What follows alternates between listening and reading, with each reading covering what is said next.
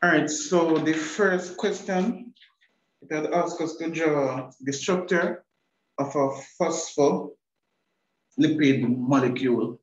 So we know that a phospholipid is made of, so you wouldn't normally have your triglyceride molecule.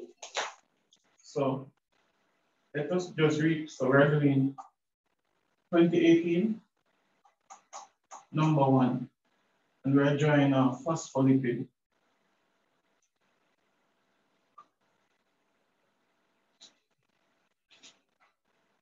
So if you remember, to get the first phospholipid, you would first have to have your tray triglyceride. So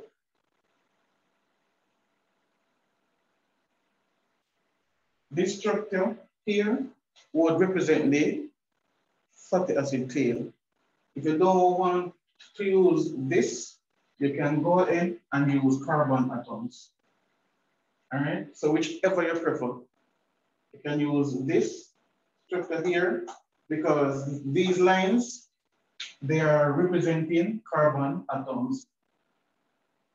So you can use this form or you can actually draw out the carbon atoms, all right? Whichever you prefer.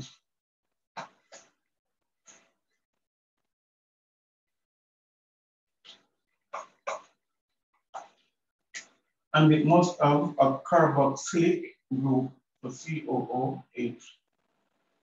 So it's triglyceride, we are going to have three fatty acids.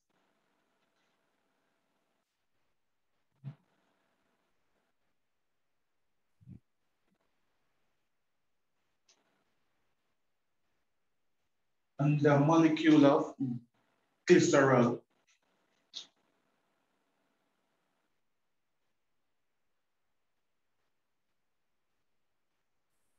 Of the molecule of, of glycerol, it consists of three carbons with three OH groups.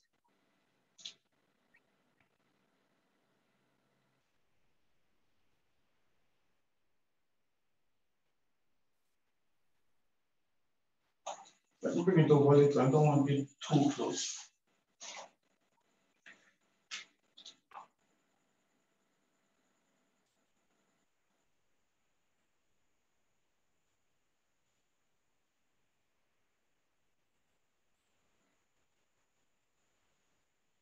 So we're doing the triglyceride first, then we're going to the phospholipid. Right, that is correct. So I'm just reminding you about the structure for the triglyceride first. Okay, right? so, so these are your three fatty acids. Right? And this is your molecule of glycerol. Now, you don't have to remember the actual chemical structure, you can just draw a box, right? And have your three OH groups sticking out. If you can remember this structure, that's good. If you cannot, you draw a box and put three OH on it. All right? Because it's the OH groups that are important. So this is your molecule of glycerol.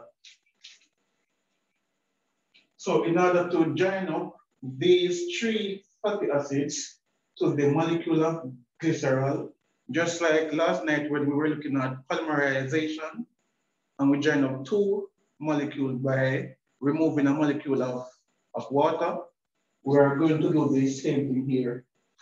So we need to join up this group here, this carbon, with this oxygen atom here. So let me just do this,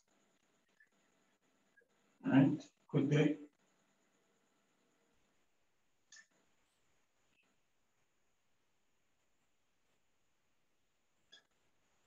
So to join this carbon to this oxygen, we need to get rid of the OH from the this group and the hydrogen from the OH. All right? So that is what we are going to remove each time. The OH from here and the hydrogen from here. So if we do that, if we do that, then this carbon is going to be bonded to this oxygen. So I'm just going to put the oxygen in the middle. All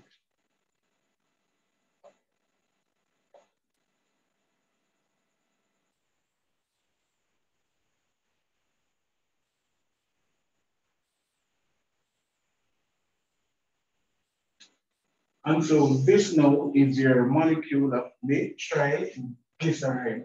Three uh, fatty acids and the molecule of glycerol. That is what makes the triglyceride. So at this point, it's not a phospholipid, it's a.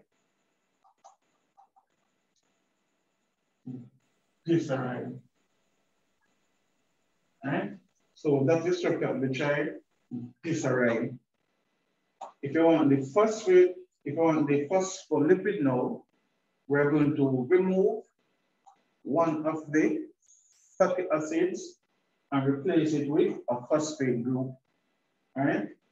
So the only difference between the triglyceride and the phospholipid is that the, tri the triglyceride, it will have the three fatty acids bonded to the molecule of glycerol. The phospholipid now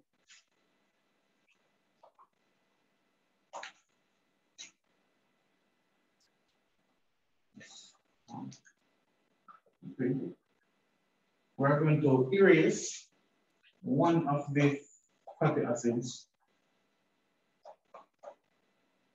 And we're going to add a phosphate group I'm going to draw the chemical structure for the phosphate group, but again, if you're in the exam and you cannot remember it, just draw a circle, right?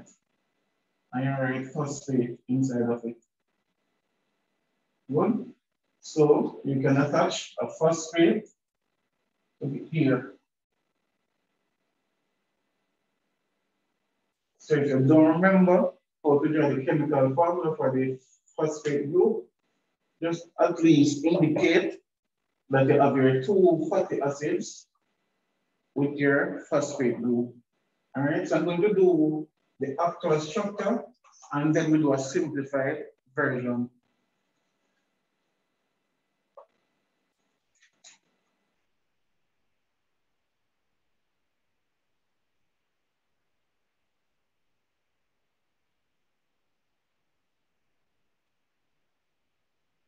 So the phosphate group, it has four oxygens attached. So it's a phosphate with four oxygen. All right. So this is the phospholipid.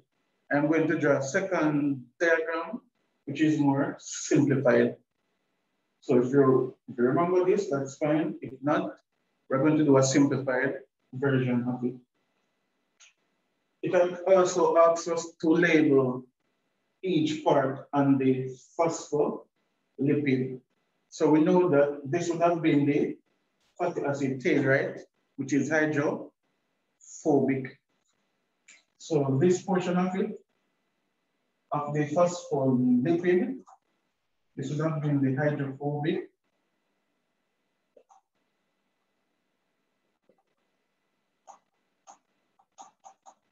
Fatty acid tail.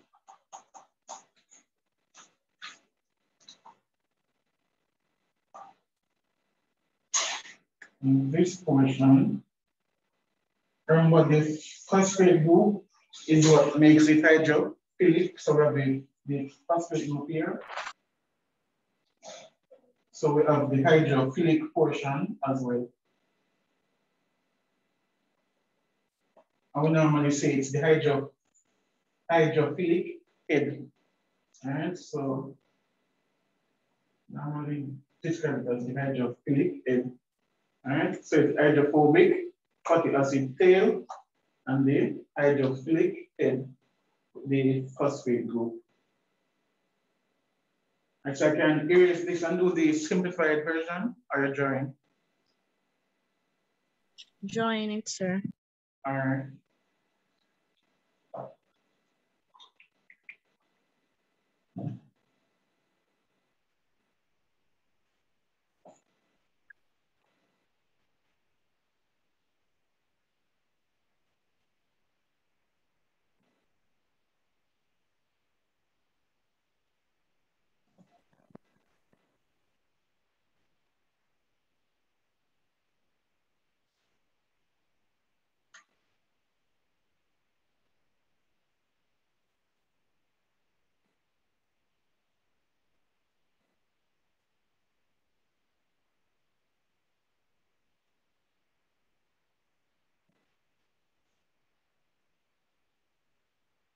Yes, it's it's hydrophobic because it has no polar groups on it.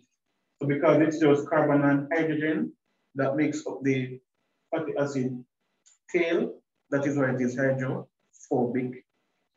And it's hydrophobic in relation to, because it's because it is inside of the body, right? Which most of the environment is an aqueous environment. So it's hydrophobic in relation to aqueous environments.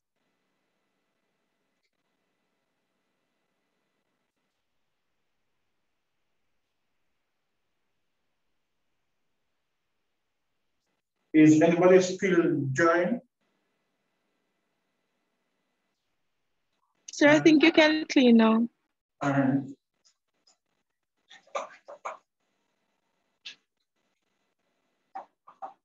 So for the molecular glycerol, I'm just going to a box, right?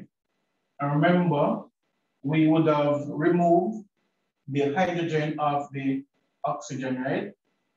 So this would represent the glycerol and you can attach the phosphate group. Mm -hmm.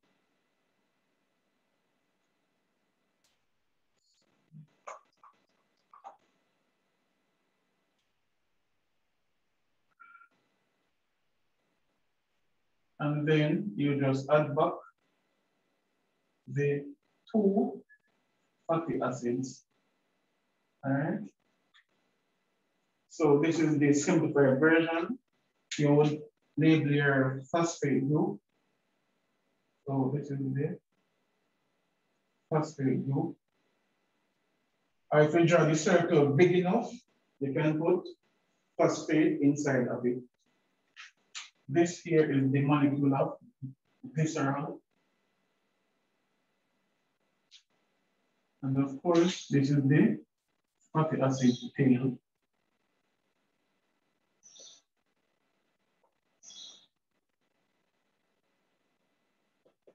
And again, this, this part would be the hydrophobic region.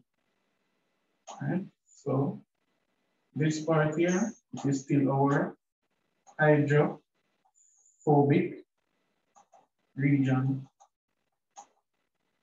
This part will be phosphate group is the hydrophilic region. All right, so that is for the diagram.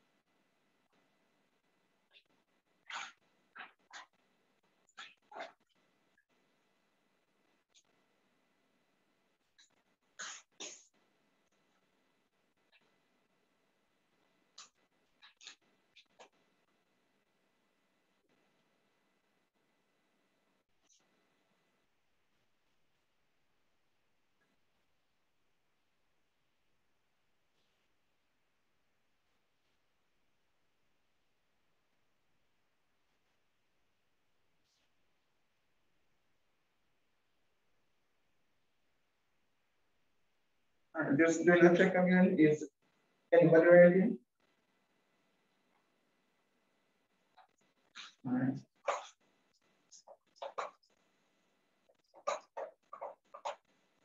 So the next part of the question now, it will ask us to describe how phospholipids are orientated. Sir, so if we draw this, we would get the marks. Yes, that is correct. So you draw it and label it. So if you remember the chemical structure, join out all of the carbons and stuff, that's fine, but the simplified version, they can use it as well. So you just draw and label, all right? All right, so it says no, describe how phospholipids are orientated to form the lipid bilayer. So remember now, the phospholipids, before we describe it so, if you have to describe if you can draw it properly and label it, but no, all it here in this case it just said how phospholipids are arranged. So it didn't make mention of the other stuff that makes up the membrane. So we know that the phospholipid bilayer, the hydrophilic heads, all right? So the hydrophilic heads would, would face the external environment, right? To the aqueous solution. And the tail node, which are hydrophobic, would point inwards.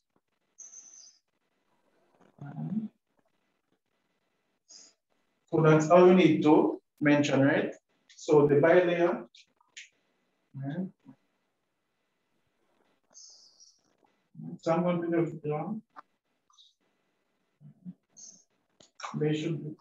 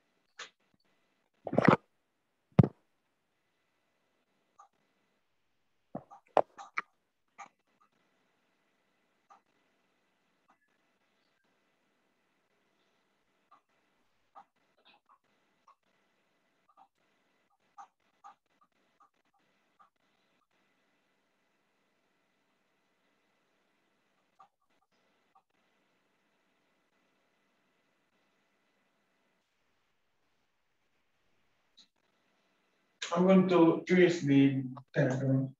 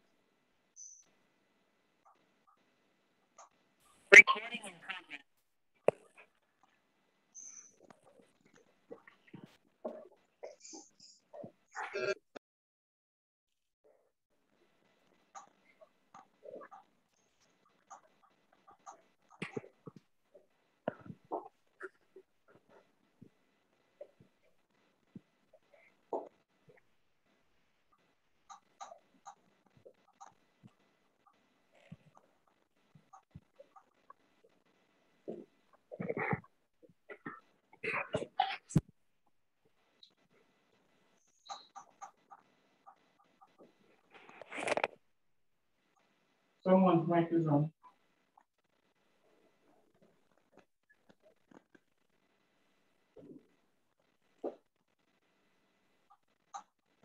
is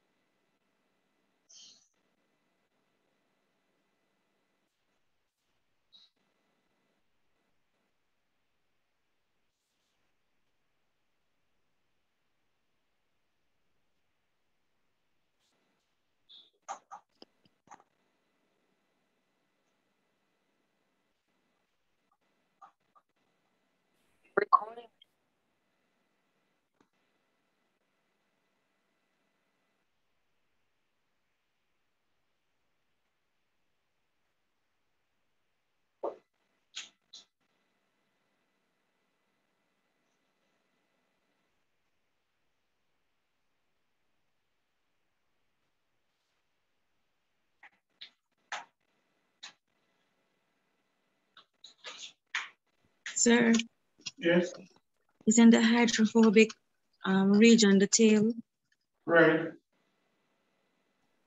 you're misplaced then. where? The hydrophilic end faces the, where? Up here? No, sir, the line above that where you said the hydrophilic region. No, I was, the- it was continuing from down here where I said, oh, Yeah, but yeah, yeah, yeah, thanks. Yeah. Hydrophobic. Yeah, thanks for that. and then said the um top part will change to hydrophilic. Right.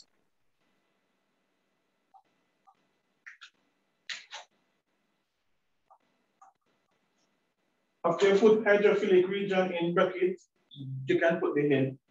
And it's the hydrophilic region, which is the head, and the edge of hydrophobic region, the tail.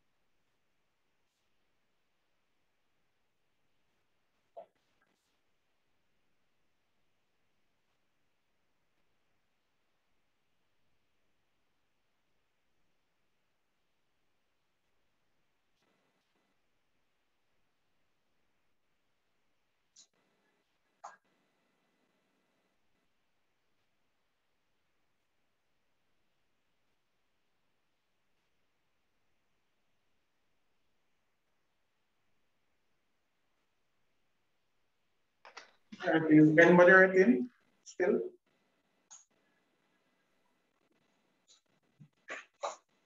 Okay, so give me a second, please. All right.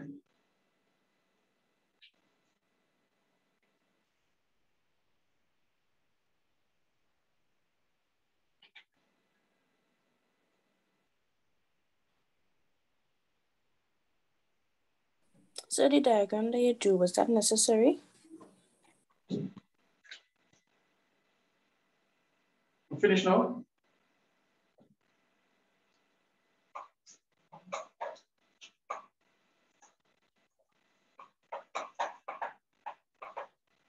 All right, so since you're on the by the lipid by there, let us just quickly draw a simplified version of it with the proteins inbound.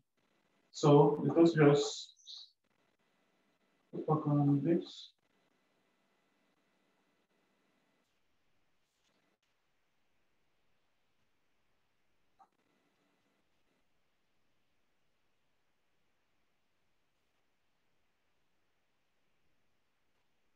No, there is a particular, go ahead, someone raised their hand. Somebody's asking if the diagram that you drew is necessary. When you have to describe, if you can't explain good, you can work with the diagram, but you can just explain. You don't have to draw it. All right? Yeah. But they can ask you to draw it, right? So I'm going to actually draw the actual fluid mosaic now, right? So as we know, you would have the lipid by layer, and then you have a protein.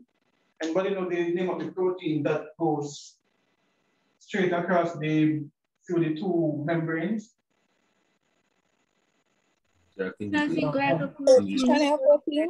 No, channel protein? right. But the general name for them is called what? Intrinsic, Yeah. right? So you have your lipid bilayer, and then you have the protein that is able to span the entire lipid bilayer.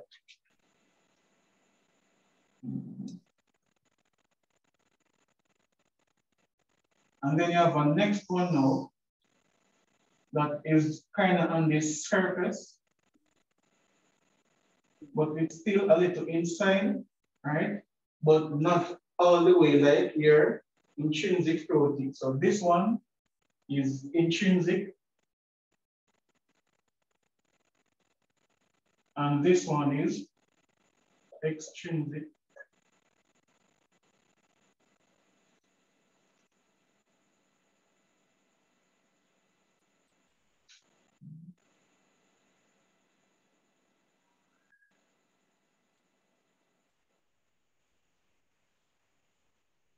And then uh, someone was mentioning, right?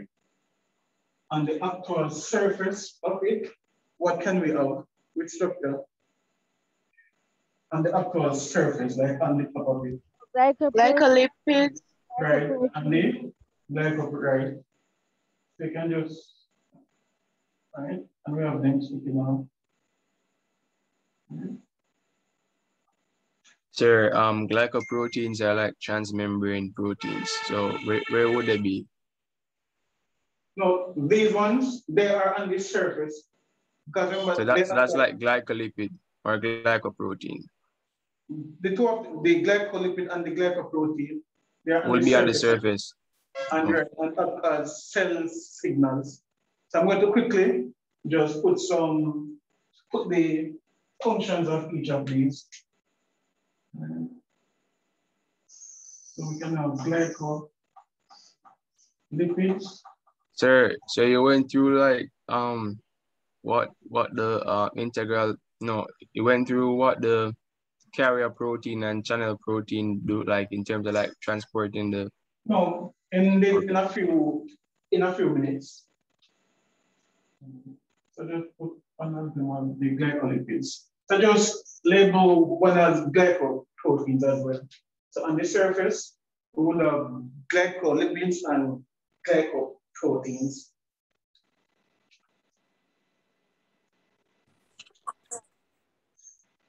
And for extrinsic, it's also called peripheral, so whichever term you use. And this one is integral.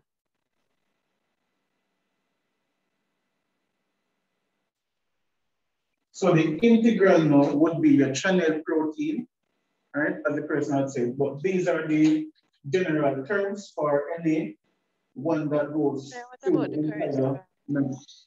So any that goes through the entire membrane, the general term for it is the intrinsic or integral. And So the sorry, one what that- about cholesterol? Please repeat. Cholesterol. Oh, I left that out. Alright. should be like between one of the like fatty acids or something like that. Or between um, I will check for cholesterol. I think it would have been embedded as well in the, yes sir, like yeah. so let us just do that. Um, All right, so after, after you finish here, I am going to put the functions, not list everything, but the major ones.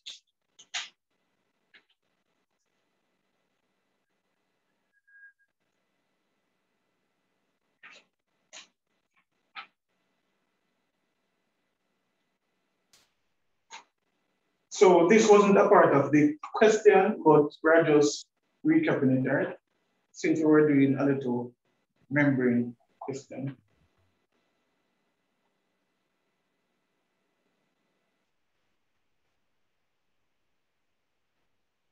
As you're finished, you can give me an indication so we can move on. Sir, so that join is the phospholipid bilayer? Right. So I know in the textbook I have some like fancy version. Just ensure if you're on the exam, you just put a little lipid bilayer insert your cholesterol, the intrinsic protein, the extrinsic one, and your glycol lipids and proteins on top. So you don't have to waste time fancying it up. Just ensure you have your structures and your labeling. And we can also label the details as well. So we could, so you can mention it, the hydrophobic tail and the hydrophilic heads.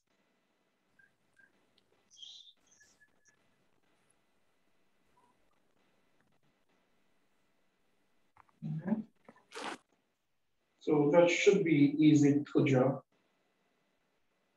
And here the, the gap is wide, but when I join it, you can bring them closer.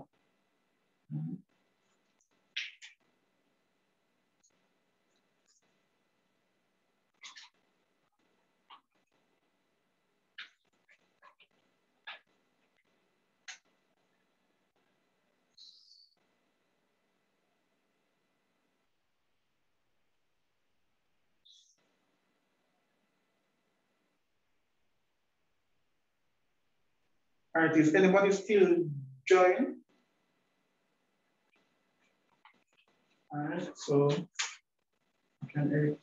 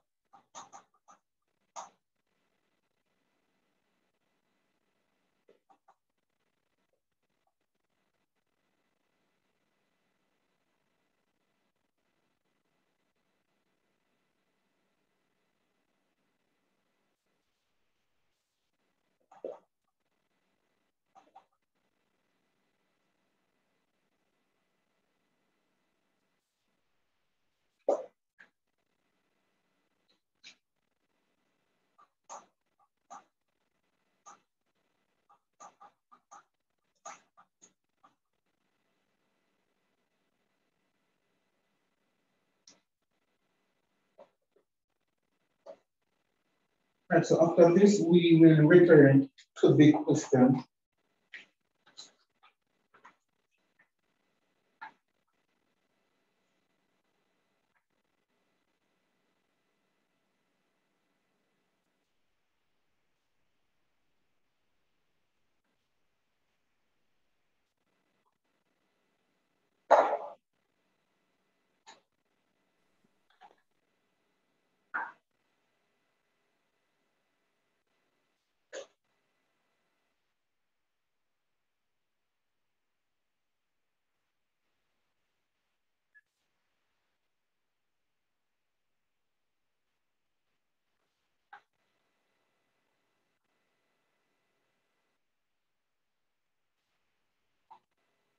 So the next question, it was this, to state the name of the lipid responsible for maintaining fluidity of cellular membrane. And if you look here, the one that can make it more or less fluid is cholesterol. state, uh, state the name of the liquid responsible for maintaining fluidity of the cellular membrane.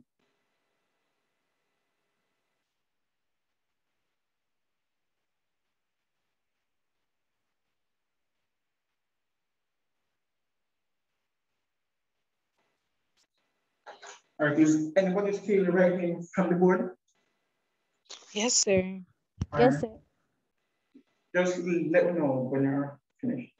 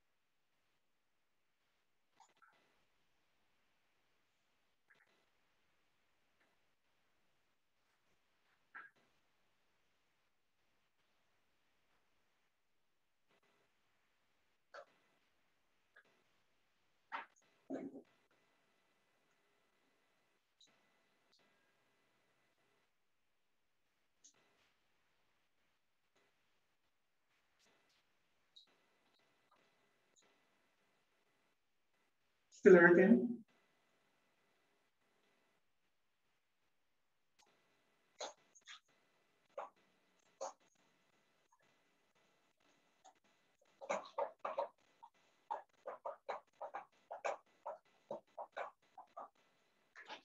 All right, so the next question now, it says describe the part B.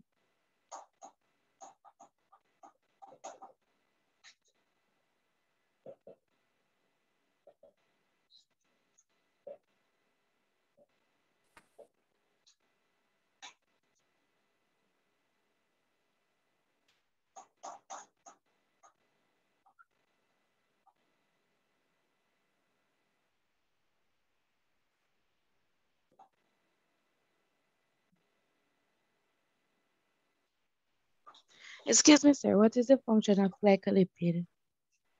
So it has, they have more than one function, but this most popular one is that they act as recognition sites.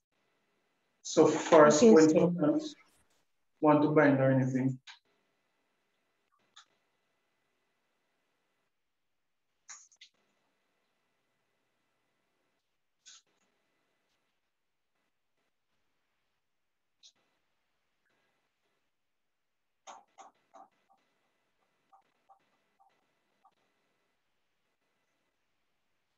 All right, so when things want to cross the membrane, right?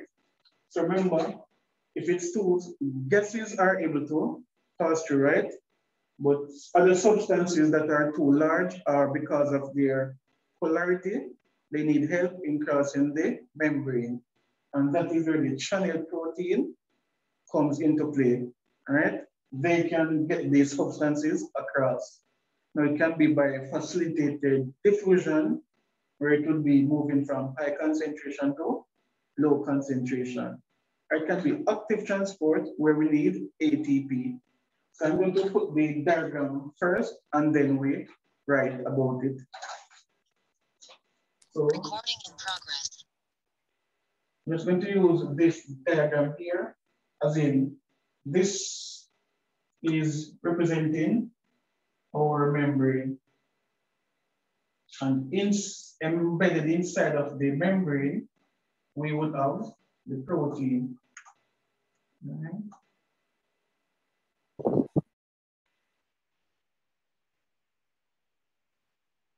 Now, if, so remember this one is representing simple diffusion, right?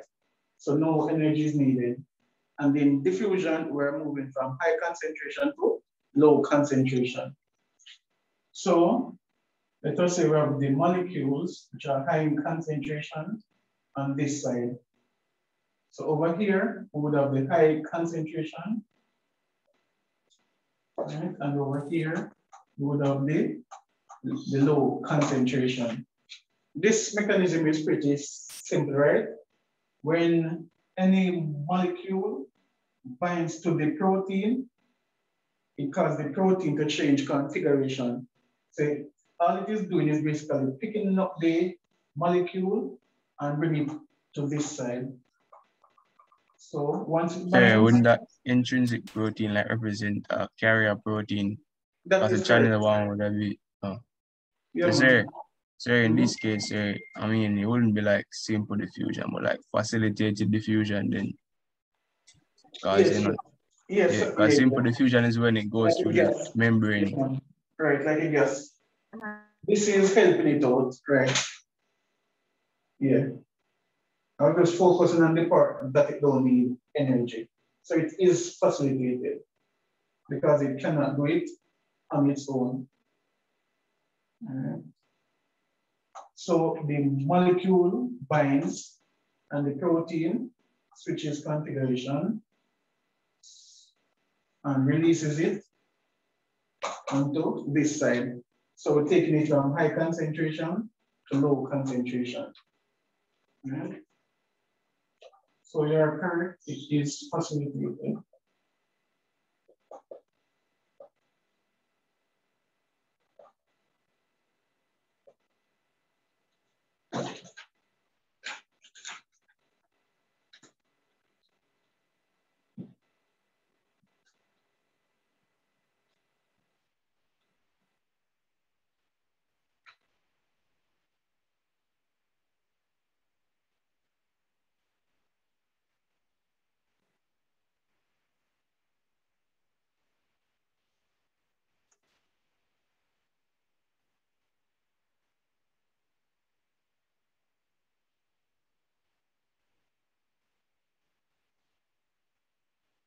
So this diagram is basically showing you how the intrinsic proteins work.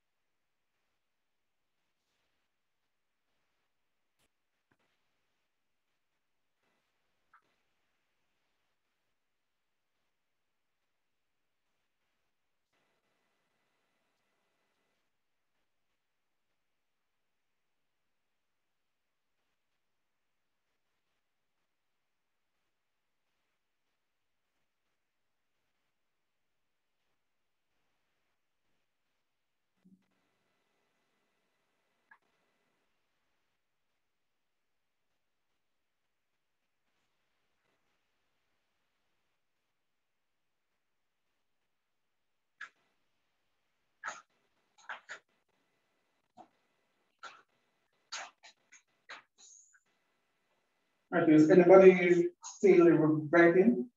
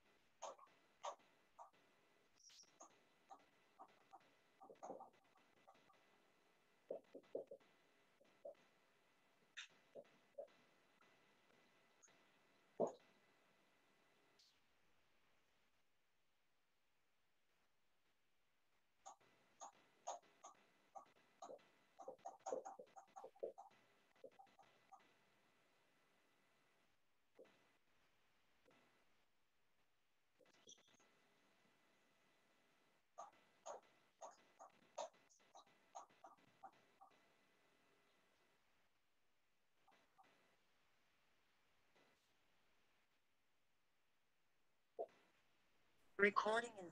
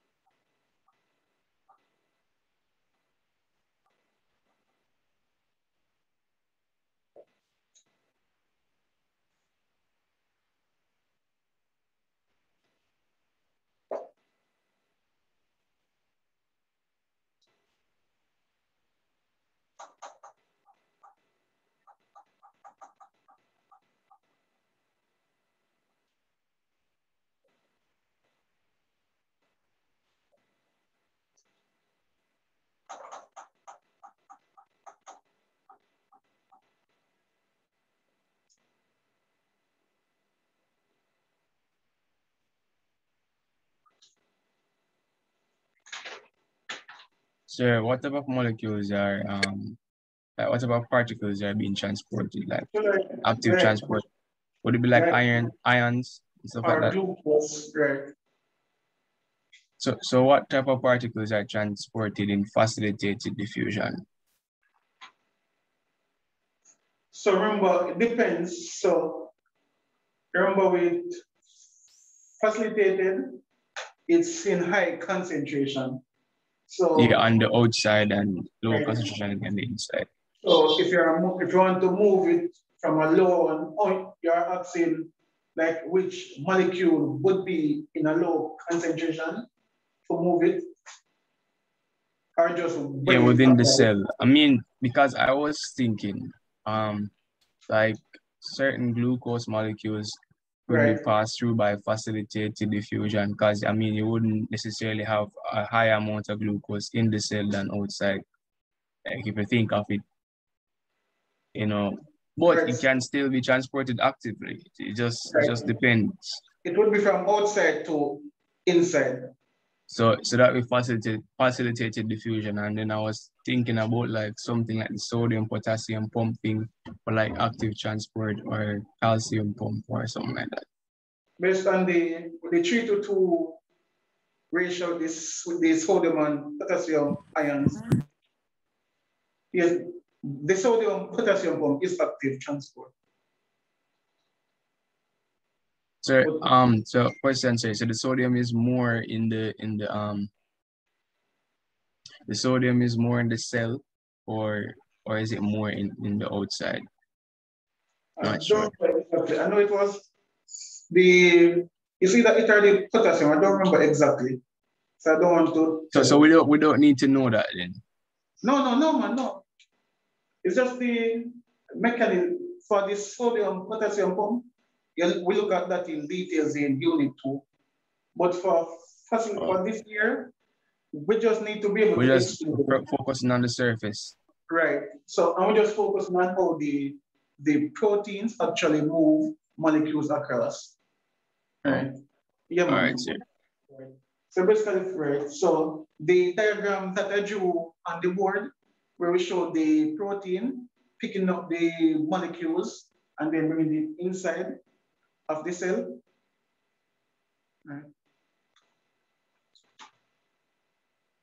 All right, so, all right, that would be it. All right, so let's, let's see, where was the next question coming from?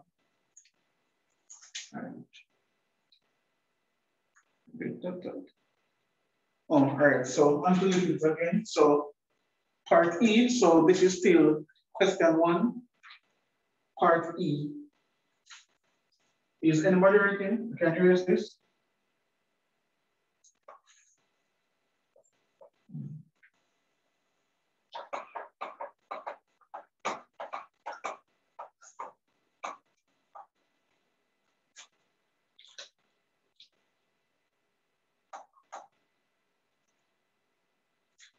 So they draw a tri, so they drew a triglyceride and then asked us to explain two features. So they drew a triglyceride, right? And so we must now explain two features.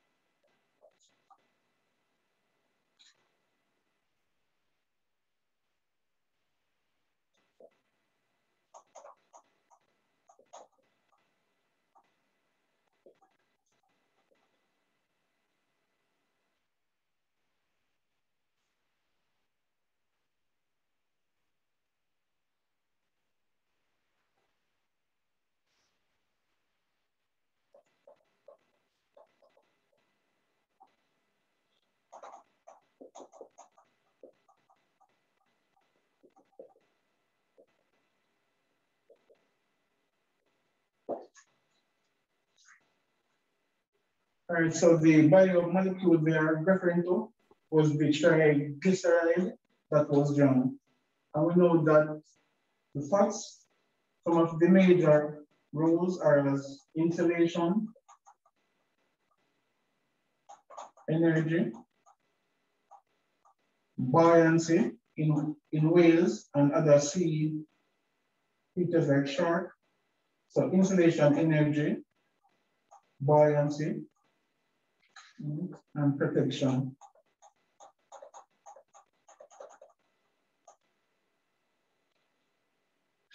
Let me see if this can work. Insulation.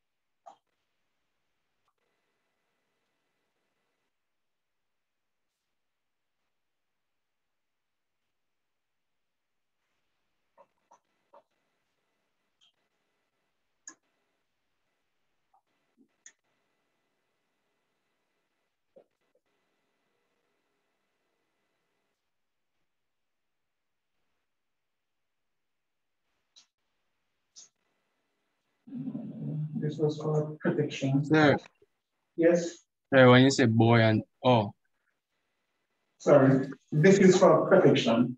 sir, would the would the boy buoyancy mean like would that um underscore like the elax the, the elasticity?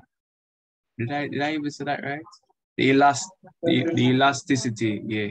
For um that they have. The elasticity mhm.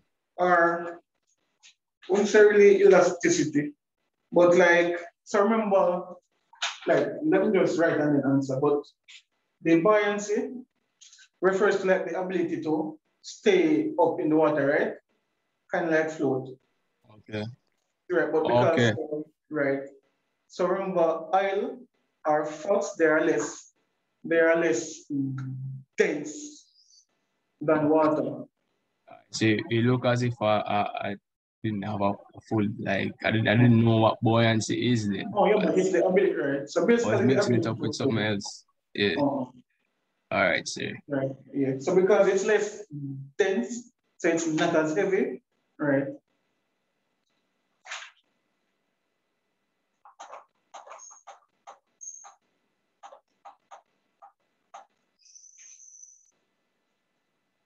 I'm going to have to put it up here, all right?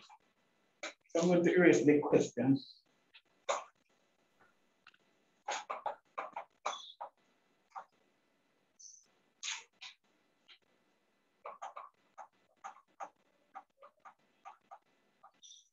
Well,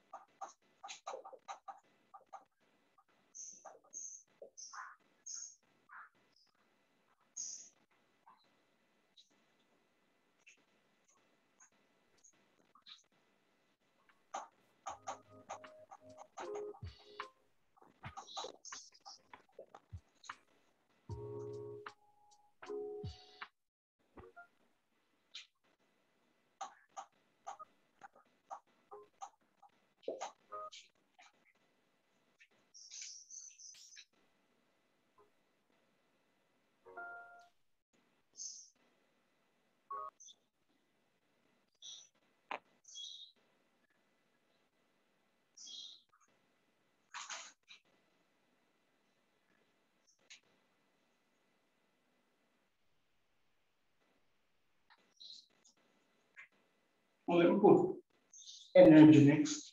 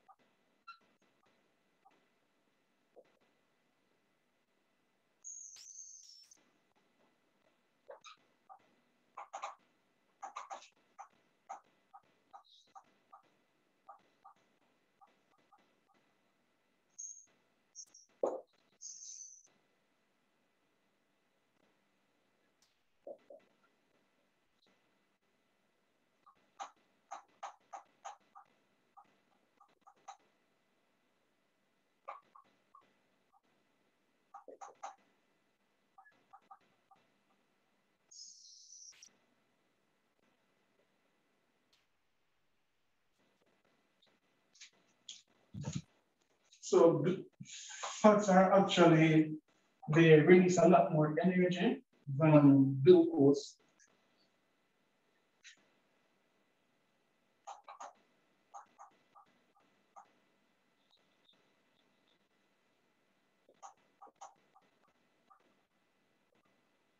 So more than twice the amount of energy as glucose. All right, so that was question one.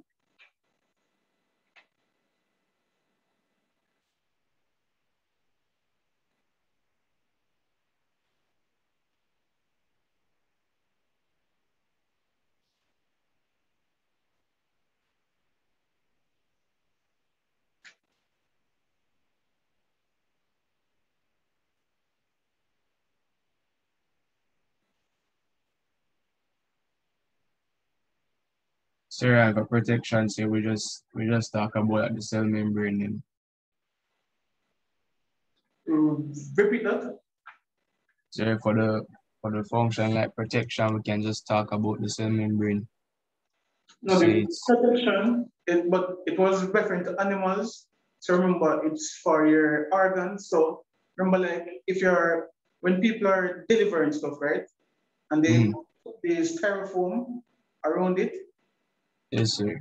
right? So the in terms of a protective role, just imagine this styrofoam as the fat, so it is able to absorb certain sh- shocks, so it doesn't your organs they don't get damaged easily. So just imagine the the protection. Just imagine this styrofoam around any thing that is being delivered, whether fridge, stove, anything, right? Alright. So it's right for protection, right? That is Then there's the of that, of that Shock is the going in. All right, so for question two, hold on, was somebody asking a question? Yes, sir. What type of shock is our body going in? No oh, when say shock, like if you get any form of jerk or any hit, right? Oh, Yeah, so, okay. yeah, man. Oh, yeah, so, right, when you say shock, yeah, it's like being hit, yeah. All right, so the only thing from that was came up was three stages. They gave us some stages for mitosis. The other stuff was genetics, which is not a part of the topic. All right, so I'm going to judge the three stages that was given. Sir, when you say genetics, sir, you mean like pattern inheritance or something like that? Yeah, the when the diagram cross and those stuff and high splitters. Okay.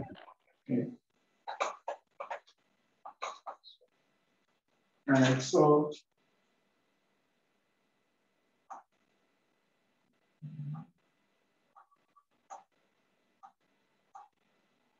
So in what stage, all right, I'm going to judge three of them, and then you select.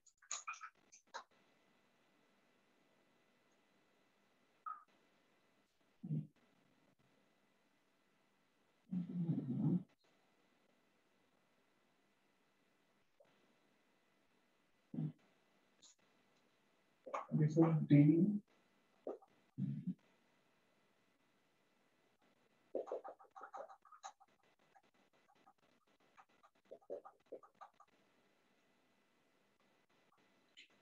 All right, so in which stage the, the chromosomes are not visible, they are not condensed. So in this, in this stage, right, you cannot see the strands. So the chromosomes are not yet shortened. So which stage is that? Interphase. Interphase, right?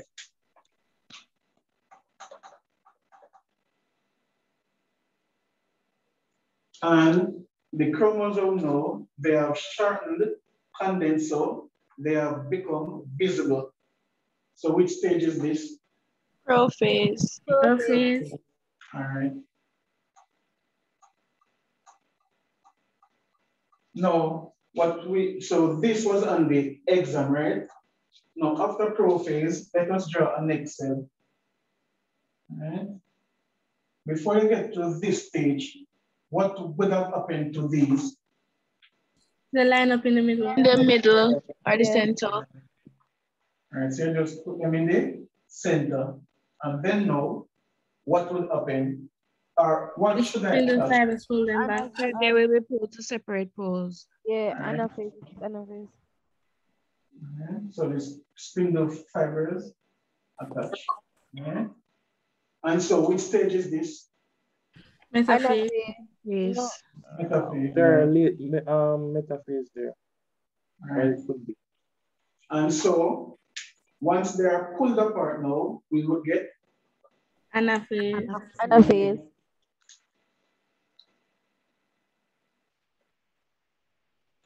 and then what will happen after anaphase?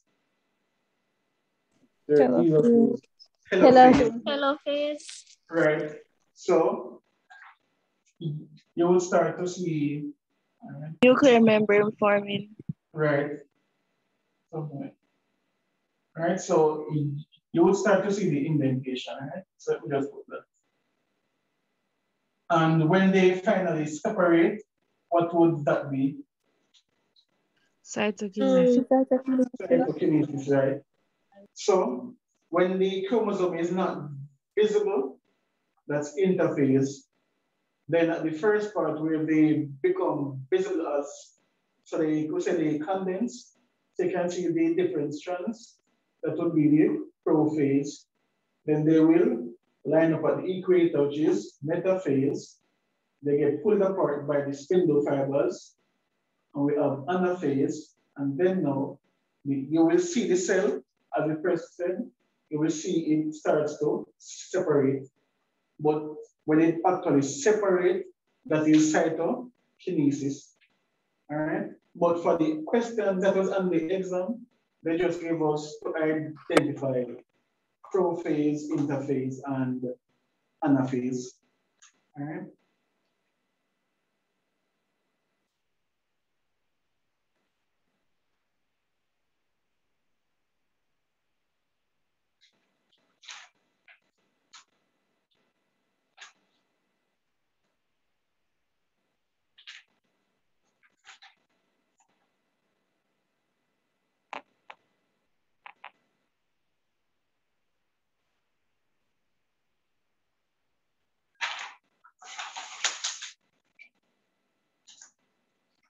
All right, so from module three, part of it that would fall under what we are doing, they gave us a cross section of a mature pollen. All right, so what everybody is finished with, with what is on the board? Yes, sir. All right.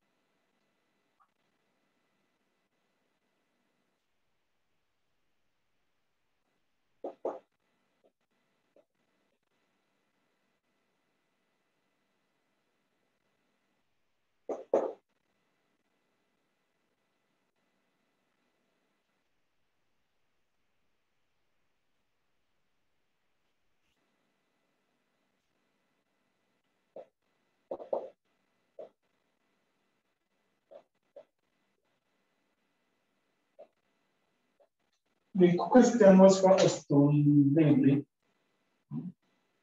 So it's a cross section.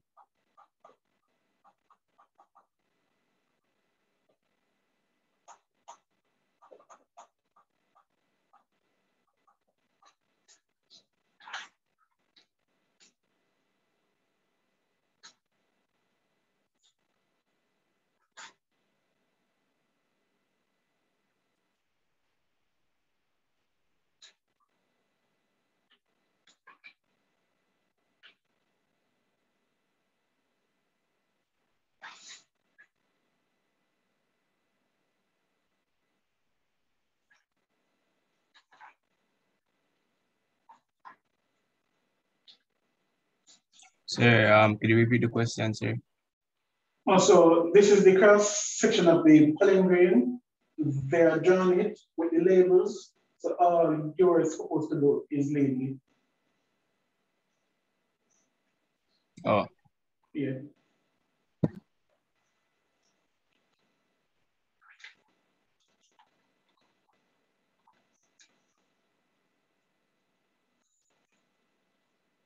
All right, can I erase the board again?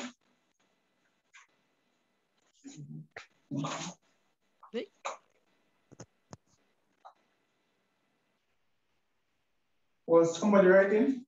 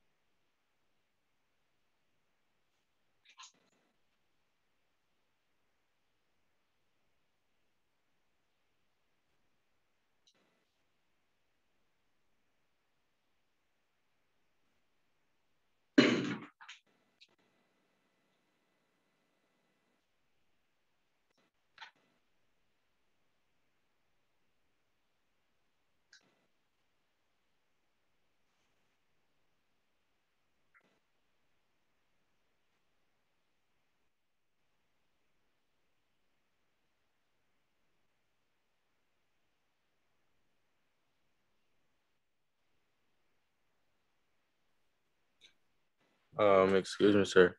Yes. Sir, I want to say I'm just not too long wake up in the sir. Look like I chop me get chopped, sir. So like away away I go to right now, sir.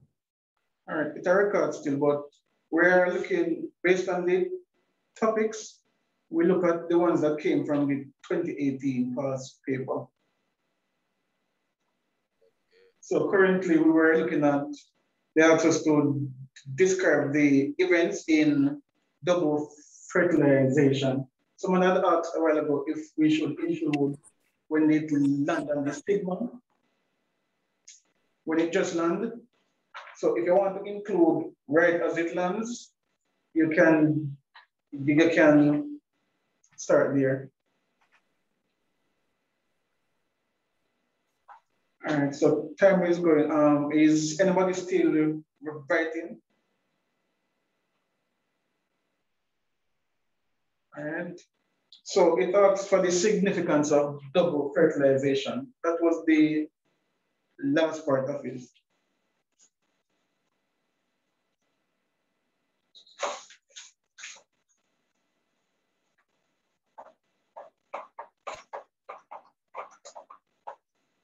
So what time are you ending again? Uh, I had said nine. What time is it now? All right, well, yeah, well, uh, yeah, we can continue. All right, so significance of double fertilization.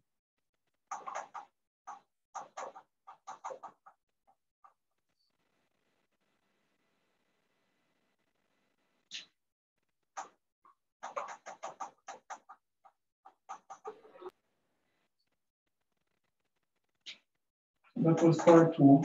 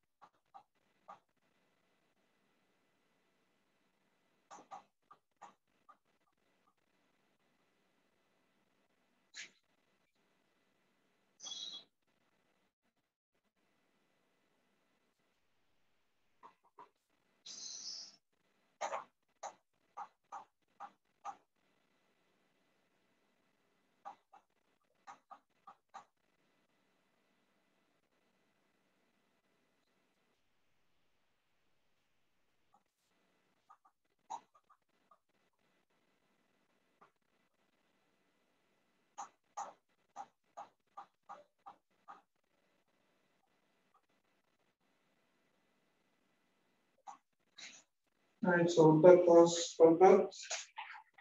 And then the, the question four, it, it didn't relate to our topic. So for question five, which is module two, we're going to look at transcription. So once you finish here, the question for question five, asking about transcription.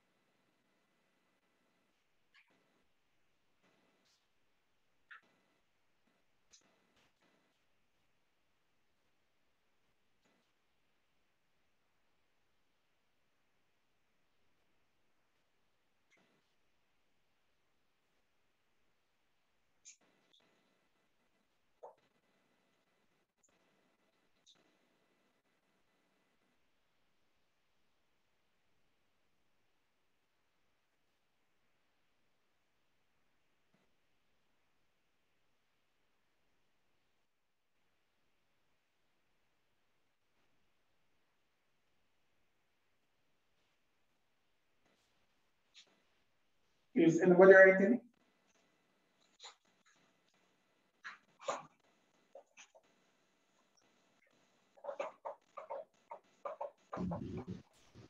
All right, so for this question, it says with the aid a labeled diagram,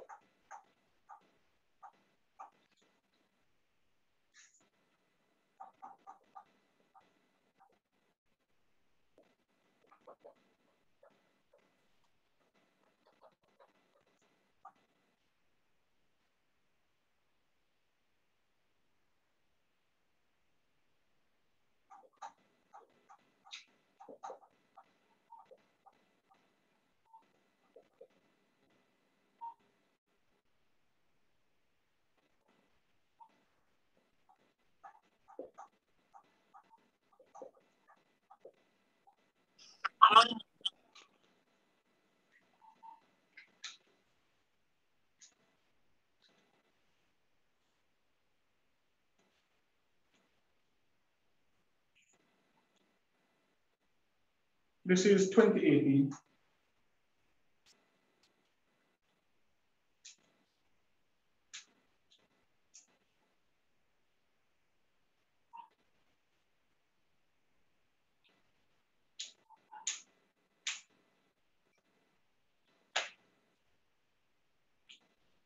All right, so it's asking us to use a diagram to show all information stored in the gene Remember, a gene is just a segment of DNA, a specific segment of DNA that codes for a protein.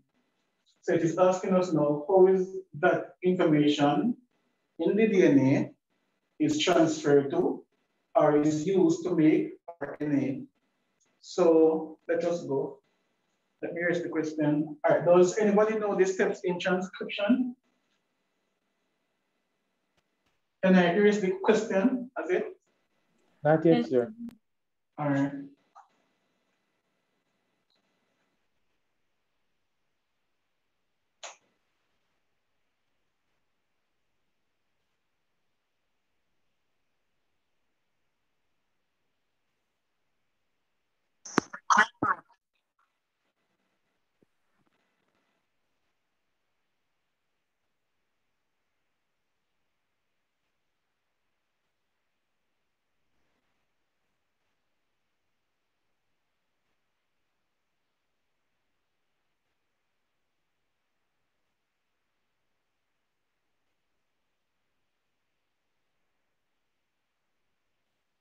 Can you know?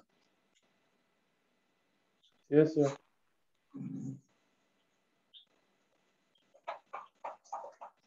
All right, so let us go back to where we have our two strands of DNA.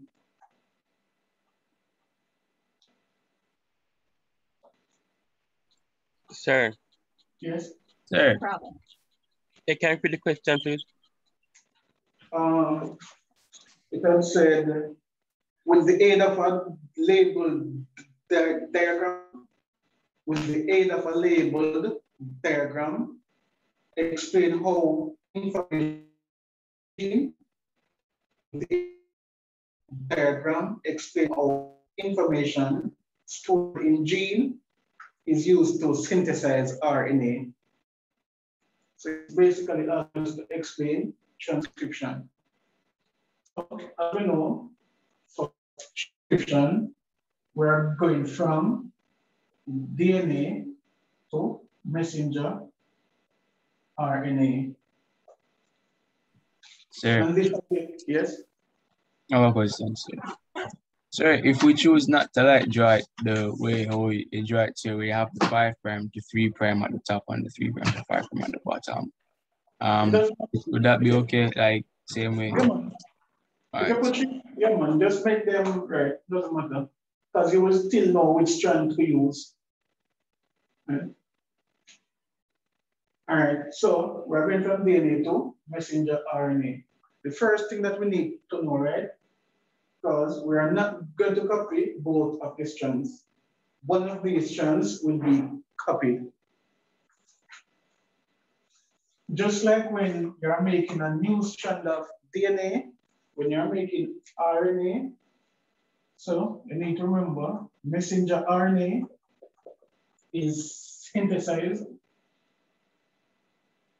is synthesized in a five prime to three prime direction. This is very important in selecting which of these strands will be used as the template. Right? So messenger RNA synthesizing a five prime to three prime direction. You also need to understand what is the template strand.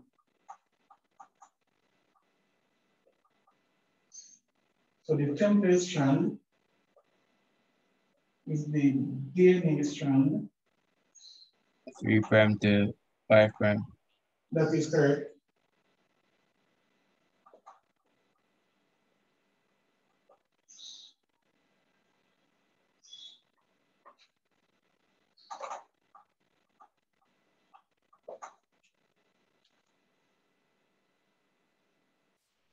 So, because RNA is made in a five prime to three prime direction, and remember everything is is must run anti-parallel.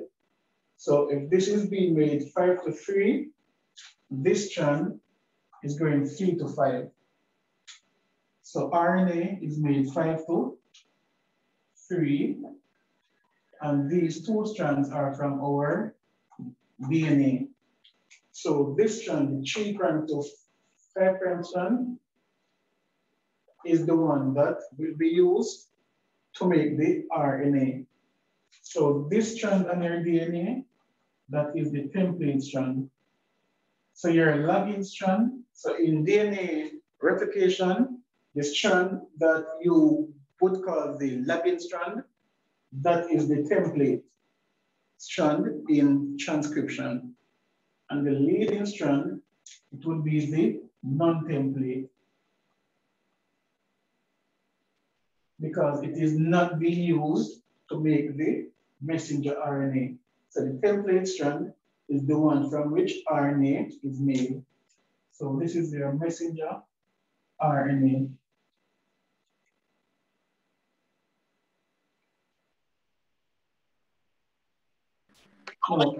Other than it being called the template strand and the non-template strand, we're going to call them coding and non-coding strand. Your template strand, that one is the non-coding strand. And I'm going to explain why.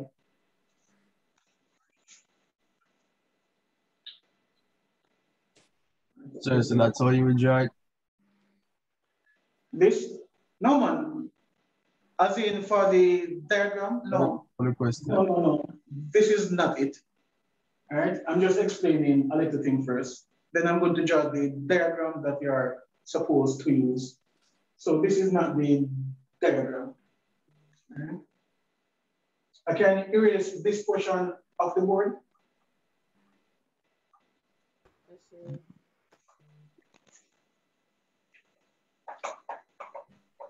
So when you draw your diagram, you must know which is template, which is non-coding. Your template strand, it is also called the non-coding strand. Now we'll show you why shortly. And the non-template is the coding strand. All right. So your protein will actually be built from the non-template, but we will see why. So I'm going to put the diagram on the board now. So template is non-coding, non-template is the coding strand.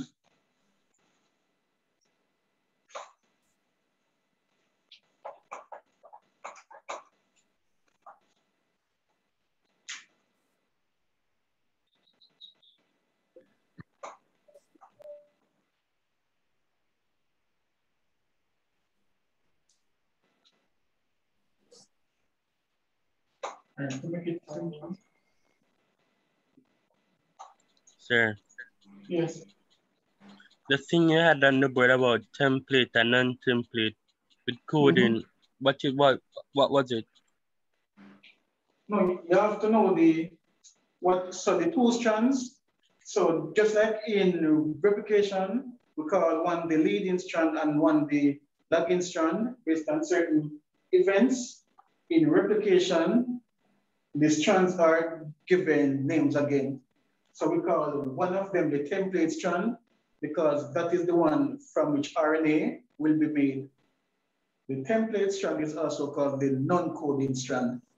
And we're going to see why shortly. So for the diagram, this is it. So we're to use a diagram to explain how RNA is made from a gene. So this is the diagram we are going to use. So when you have your DNA, right?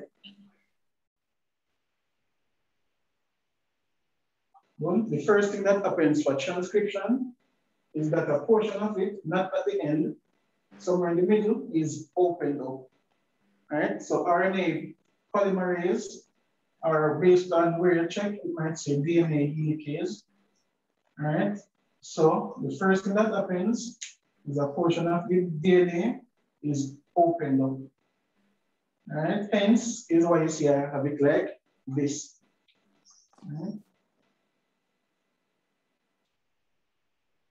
And then whatever is behind it is still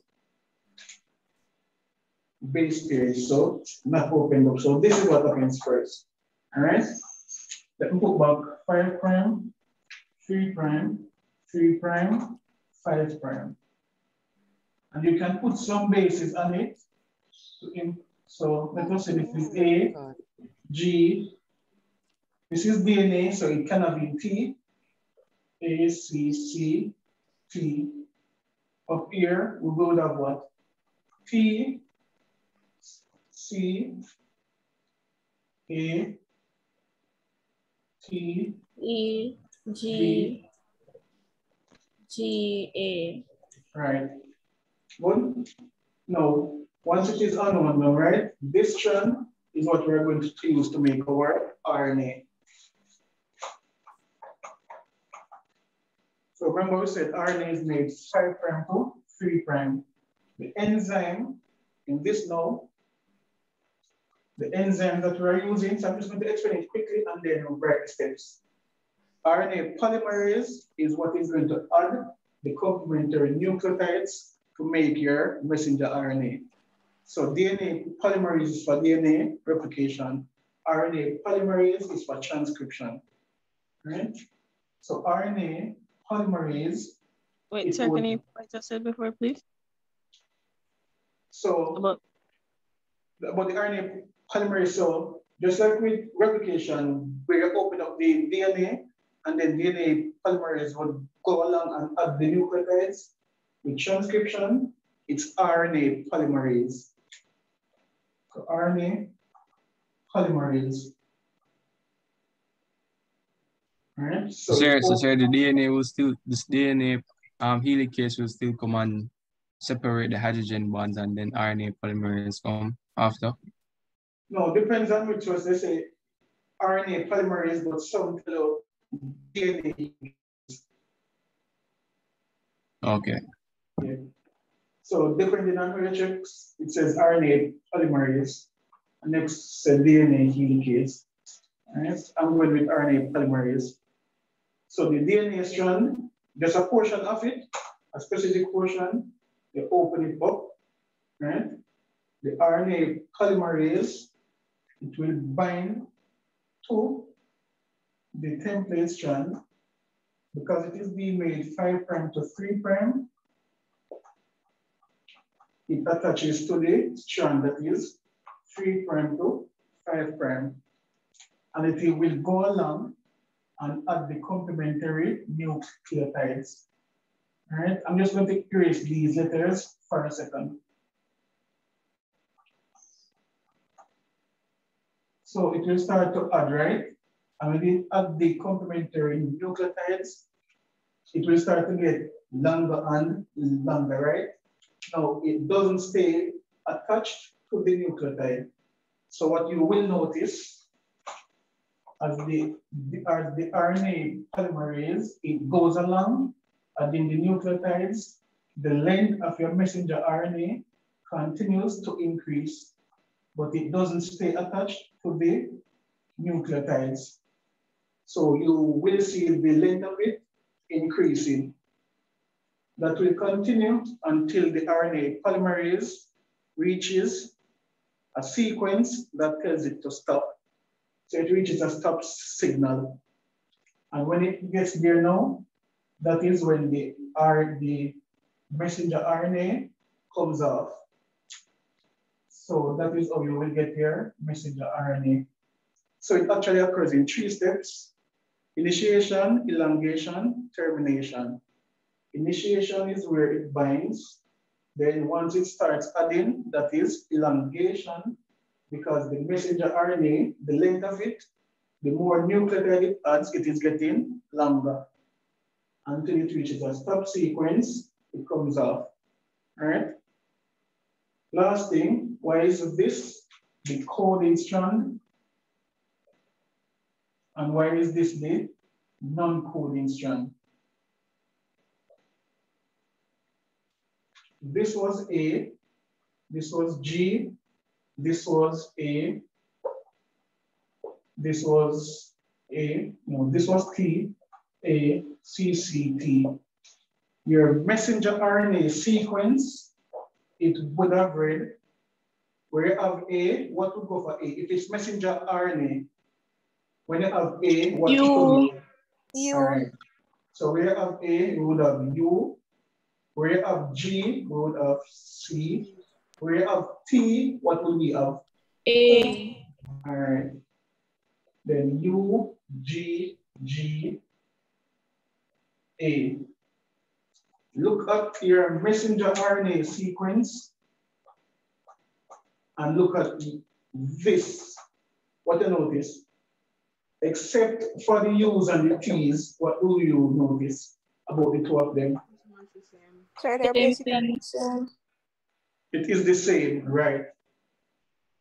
So even though you copy this strand, because it is made complementary, so this strand, this is complementary to this. And this strand is complementary to this strand.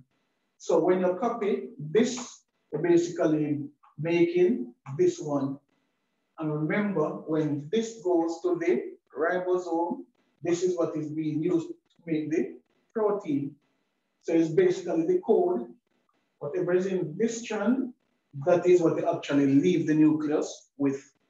So that is where this is your coding strand, and this is the non-coding one. Because this is not, these sequence here, they are not going to be translated. These are going to be translated, all right? So if we were to draw this, we can label this strand non-coding, coding strand all right, slash template, non-template, all right?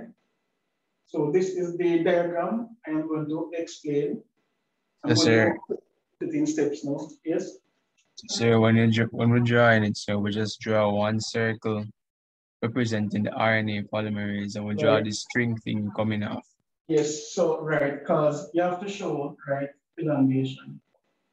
So we would remove the bases and you can put the string here and show it coming off. So you would have to put the polymerase in front because it is the polymerase that is doing it. And sir, if you want to be fancy, sir, we can use like um the code the coding strand sir there and just where we have T put U on just so that's for M Right. Yes. Yeah. So you can still put in the, what is this? So you can still put up the A, the G, T, T, right? And let the messenger RNA stay out here. Okay. All right, so quickly, I'm going to um, All right, sir. A little description on the three stages. All right. So remember, three stage, initiation, elongation, termination.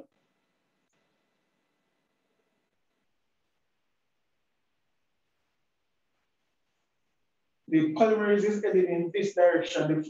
When you open up up here, we just start it from here. So if we say it is made five prime to three prime, and we're going in this direction, then this is the strand. If you open it up and wanted to do it in this direction here, your polymerase would be on this strand. If you are going in this direction. So which Sure, you can just you can just repeat why the template strand would be the non-coding strand again, sir. All right. So the template strand is a non-coding, all right? And the reason for that, the RNA polymerase is going to add complementary nucleotides to what is on your template strand.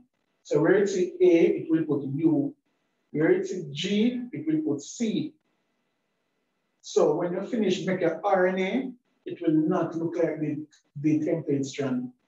It will look like the other strand, the non-template one, because it is having the opposite of what it sees. So if it sees G, it is not put in G, it is put in C. When it sees T, it put A. So both of these, so your messenger RNA and the non-template are the same because the non-template strand is complementary to this one. And your messenger RNA is complementary to this strand as well. So that is why both of these two end up being the same. And remember, we are calling the code because that is what is going to be used to make your protein. All right. Sir, no, sir, I never hear what you say a while ago, sir. Sorry to bother you, sir, but you can just repeat that once, once more, sir. This is a template strand, RNA polymerase.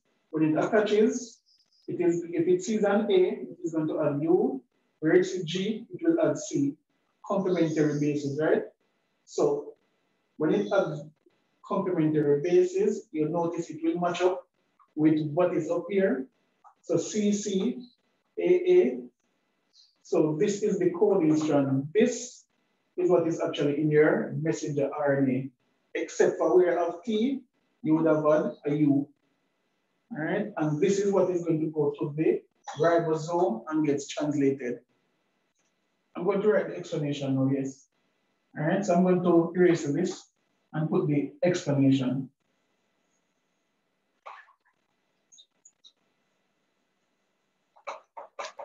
Um, sir, do you have to erase the bases when you're showing elongation? Please repeat. Do you have to erase the bases on the strand when you're showing elongation? If I have to erase the bases when I'm showing elongation, Yes, sir. no, you don't, no, you don't have to erase it. You can just put the polymerase further down. So if you have the A, A, ACT, you can just put the polymerase here and the strand here. That means it would have already read what was here. All right? Okay, thanks. Yeah.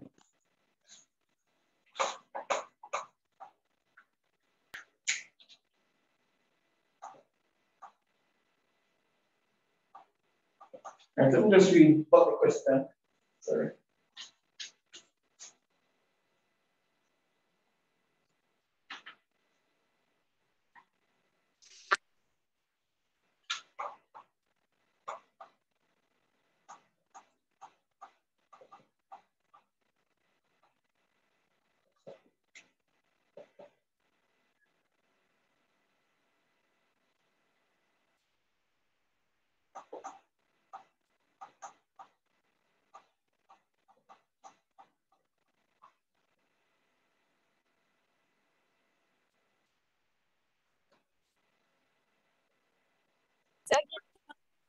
Every time you use them type of pen, yeah, I can never finish.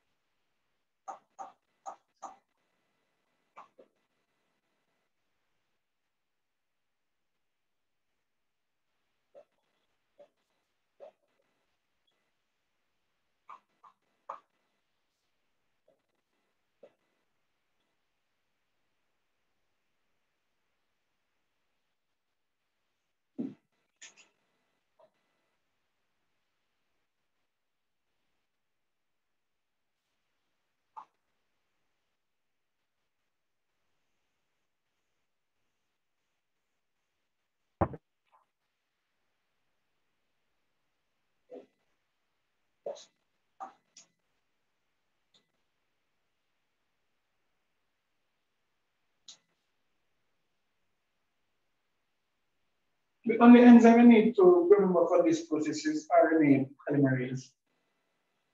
It's the DNA replication that we need to remember the name of several enzymes.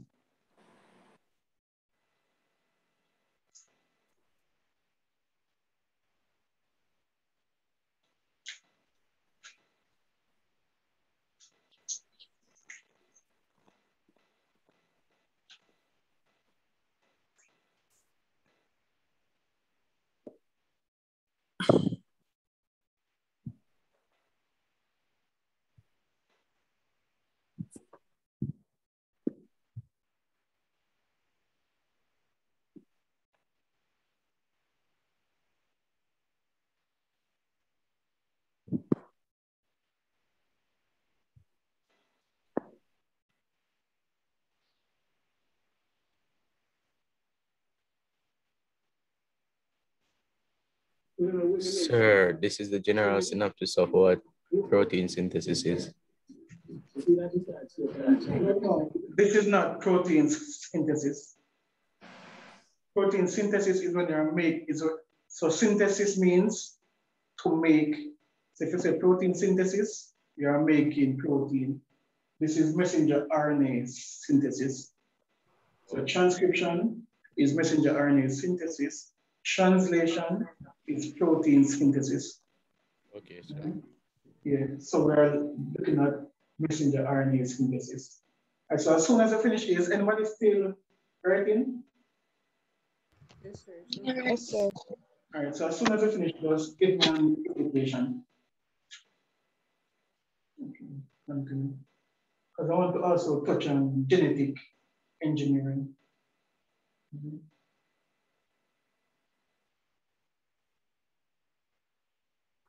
Sir, by what time will this class end? I have to end it by nine. What time is it now? Eight or nine? All right, so I want to wrap up this question and touch genetic engineering. Sir, are we going to be doing a past paper? Please repeat. Are we going to do a past paper? I'm not sure. All right, if I get the exam is at one o'clock, I Yes. have to end that, I have to end at nine, right? But I'm trying, I'm going to try and write answers to some other questions and just take a picture and upload it as a video. So just place it in a video form and just pause and look at the answer. Right, but I will have to end at nine because I have to go to school. So let's say somewhere about 11 o'clock, I will try to answer some quickly. I'm not sure if you will have the time to look at it. But I'm just going to write the answer, say that it will, it will not be a video where I will explain it, right? I will just write it and take a picture and upload it. All right, so you can just. Sir, so when are you going to post this, sir? No, as class finish by about 15 minutes afterwards, I will post it. But the written answers, I will try to do it by 11. All right. Thank you. Yeah, man. All right, so three stages, right? The three stages are initiation,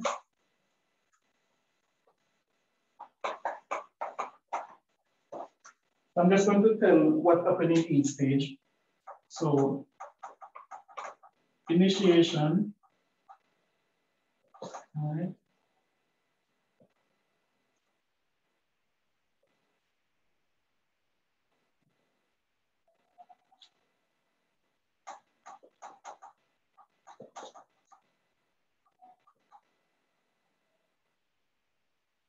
Where I have the DNA double helix is separated, put a portion.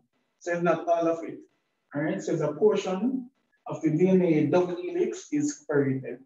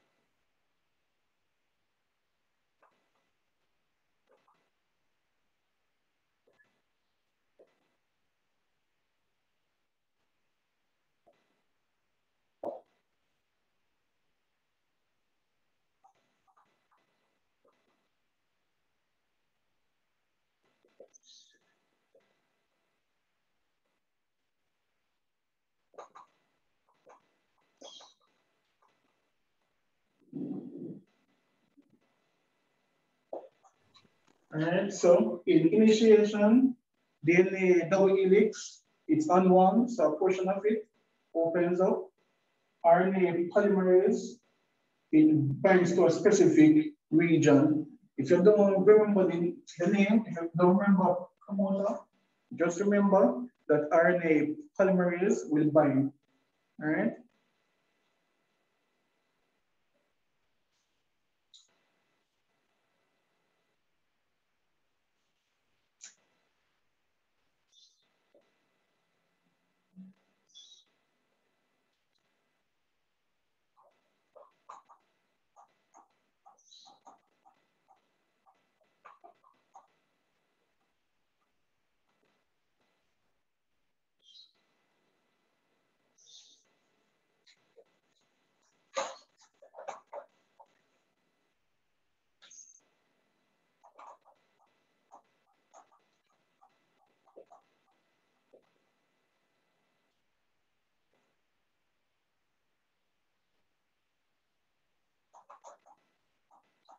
All right, so we won't go into much detail, details for initiation, but if you do this further like in university, this process is a lot more detailed. All right, but for now, just remember RNA polymerase on the template strand, it binds to a specific region. So it don't bind any, anywhere. It's a specific region right, called the promoter region. All right, and that is where transcription begins.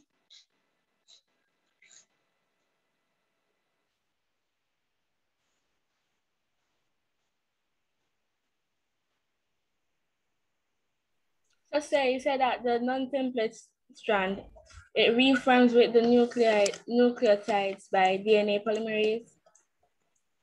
Repeat. The, the non-template strand, it reforms with the nucleotides by DNA polymerase, right? No, they just, so remember, actually, you see in, in DNA replication, after helicase unwinds the DNA, so we don't mention this step, but to keep the strands from base pairing again, single-stranded binding proteins actually attach to the bases, or else you would have base pairing occurring again. So once the RNA polymerase attaches the complementary nucleotide and moves along, remember the, remember the messenger RNA, it's not attached to it, it comes out, right? That means the DNA that is left behind, it will reform. So base pairing will occur again. So it's not DNA polymerase that is doing anything.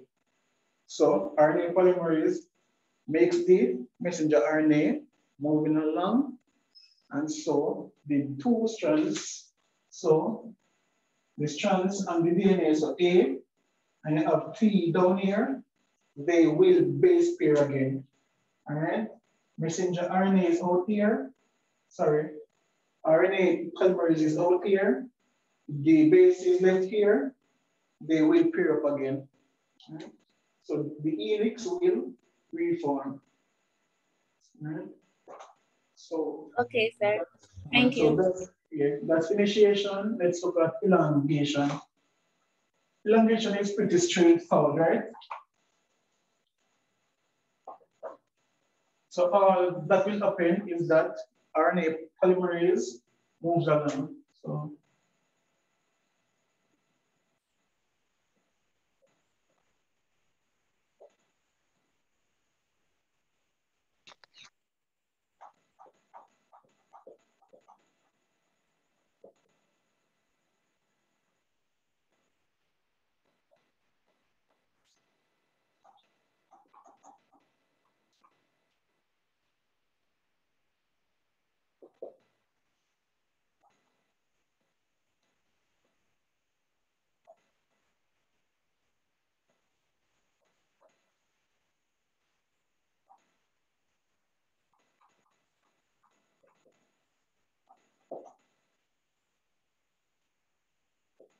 Sorry, you have initiation, supposed to be elongation.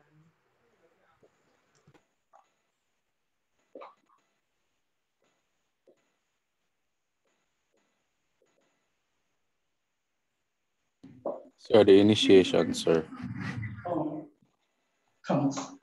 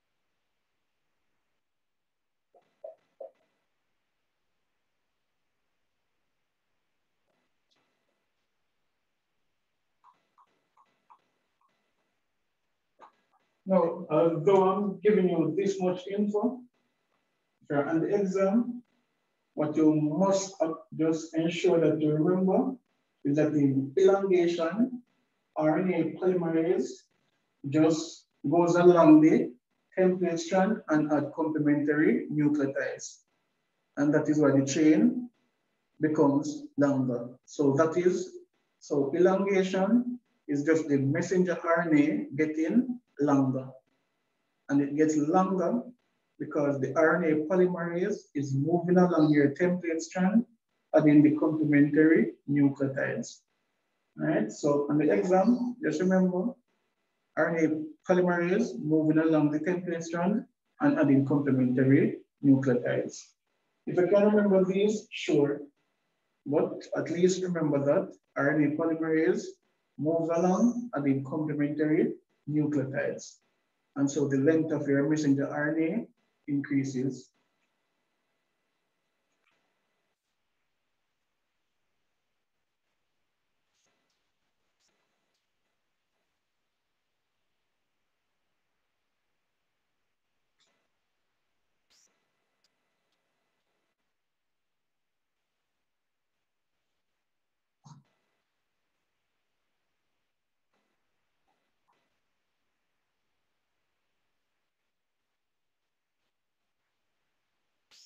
And if anybody's still writing? All right. Yes, sir. Oh, all right.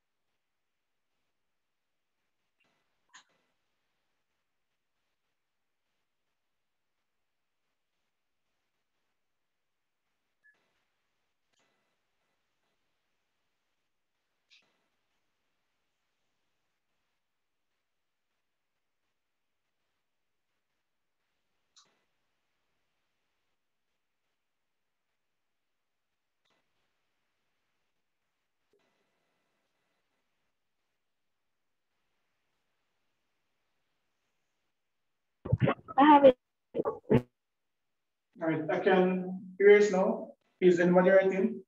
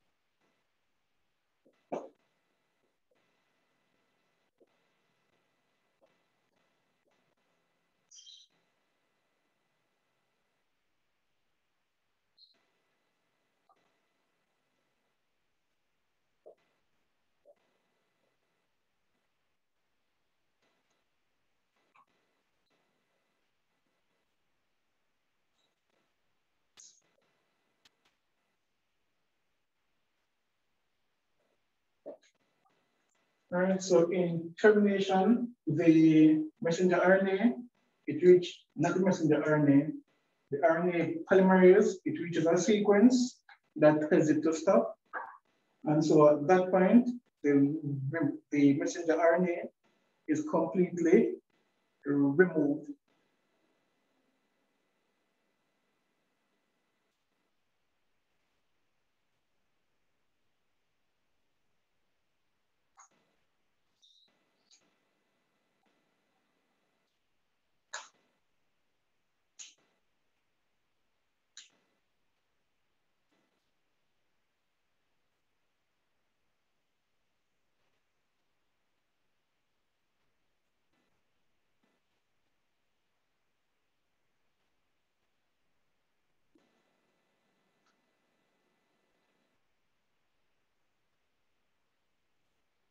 Alright, so that is where the transcription would end. You normally have messenger RNA processing because at this part, messenger RNA is not ready yet for translation, right? So other modifications are done. But for transcription, that is where it would stop. All right. Now I want to look at genetic engineering quickly and just walk about through the process of what happens in genetic engineering. Right? I will send the answer, a question and an answer on translation. All right, but I have to look at genetic engineering to see if you remember the process.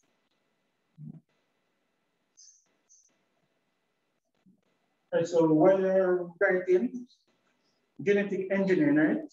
So genetic genes, engineering, some form of technology. So we're basically manipulating. I'm going to write it, take a pic and upload it to the channel as well. Right, so I won't be doing a video, I'm just going to write it and upload it. Right, so genetic engineering, right? We're just um, manipulating the genome, whether of animal, plants, humans, right? So we're doing some form of modification to, to a gene, right? But we're using technology to do it, right? So, for example, insulin, right? Back in the days, if you had diabetes, both in the 70s or early 80s, up to that point, before DNA technology had improved and restriction enzymes, all of those stuffs were discovered, right? If you had, if you had diabetes, you would get insulin from pig, right? Pig insulin. However, with recombinant DNA technology, we are able to isolate the insulin gene, right? Place it inside of what we call a plasmid, circular strand of DNA in a bacterium, put it back in the bacteria, the bacteria replicates. When it is replicating, it is also it has the insulin gene. Remember, the gene is a code. So once it has the code for insulin production, it will produce insulin. And so we're able to manufacture insulin on a large scale basis. Right? So let us just look at the steps that would be involved.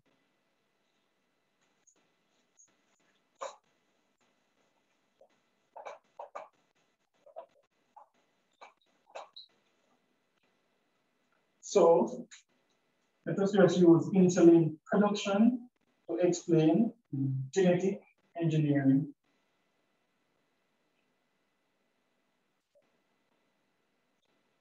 All right. So let us just say have the human, right? And we're going to isolate it, the insulin gene So we take the insulin gene from the human gene. We are going to have a bacterial cell now. Bacteria, a prokaryotic, in a prokaryotic cell, it will have circular strands of, well, not circular, but just regular strands of DNA, right? And then now it will have one, so bacteria, it has a circular DNA that we call the plasmid. And bacteria should, should have a cell wall. So this is the chromosomal DNA. DNA, but this is the plasmid DNA. All right? And it is the plasmid DNA that is used. So what we're going to do, right? We have the insulin gene and the plasmid DNA. We isolate the gene from the humans, and we are going to isolate the plasmid. So we're going to remove the plasmid from the bacteria. Right? So we remove the plasmid from the bacteria and we have the insulin gene. Let us say, where's that one? Let us say that this is our insulin gene. All right, so this right here, this is our insulin gene. We're going to place the insulin gene inside of the plasmid. All right, so let's just put it in terms of some steps, right? So the human will be the host. All right. So we're going to remove the gene from the host cell. So step one, you would have a, whether it's plant or animal or humans, the gene of interest, you're going to remove it from the host. In this case, it's the insulin gene that we're removing. Good. Step two, we are removing plasmid DNA from the bacteria.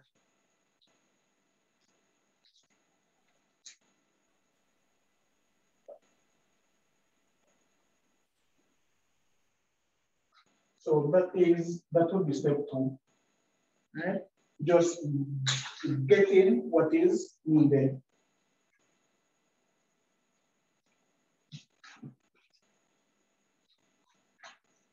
So we have the insulin, we have the plasmid. In step three, step three now, we are going to make recombinant DNA.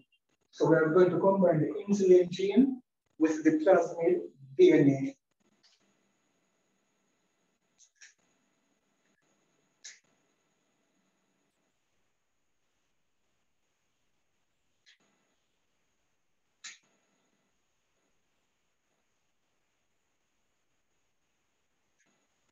And so this is now what we call a recombinant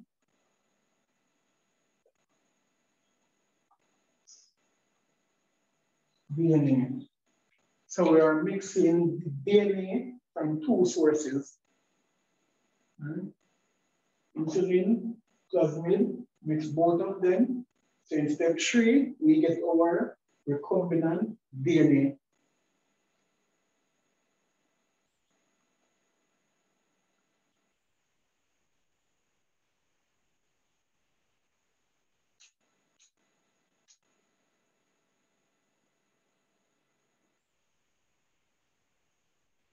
I will have to erase the board after this, so let me know when you're finished with this information.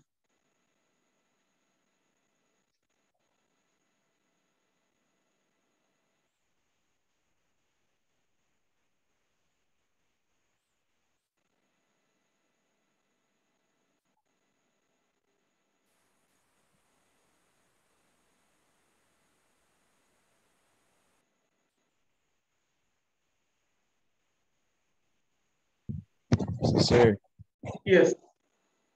so you have isolation, then the removal of the plasmid, and you have insertion to make the recombinant DNA. Right. So, you're- so you're, at your uh, isolate, so it's isolation of the gene from the host. Then you remove the plasmid from the bacteria, and then you insert the gene into the plasmid. So let me just put that insert gene. So for step three, we insert insert the gene into the plasmid. All right, so for step three, we insert the gene into the plasmid. And for step four, we're going to put the recombinant DNA back into the bacterial cell.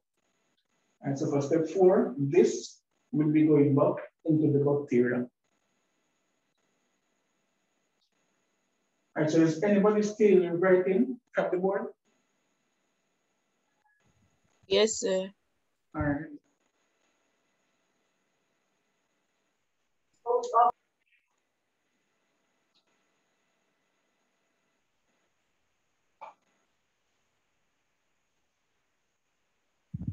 Finish now. Sir, can I Alright. read step four? I'm going to do step four now. All right, so I'm going to drag up and do it.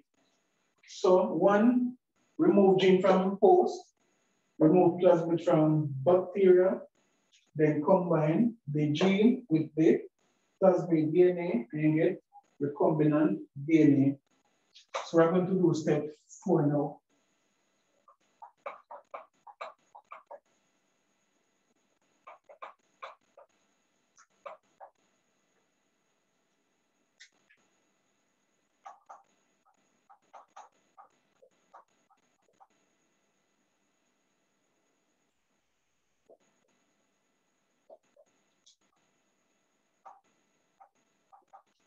Sir, would that mean like um would, would the name of that be implantation where you implant but we implant the plasmid back into the bacteria or something like that? Well, I guess I could use that term. I haven't seen it used before, but you can use it and explain it. All right. So if you want to use it like that, all right, no problem. All right. So we insert the recombinant DNA back into the bacteria.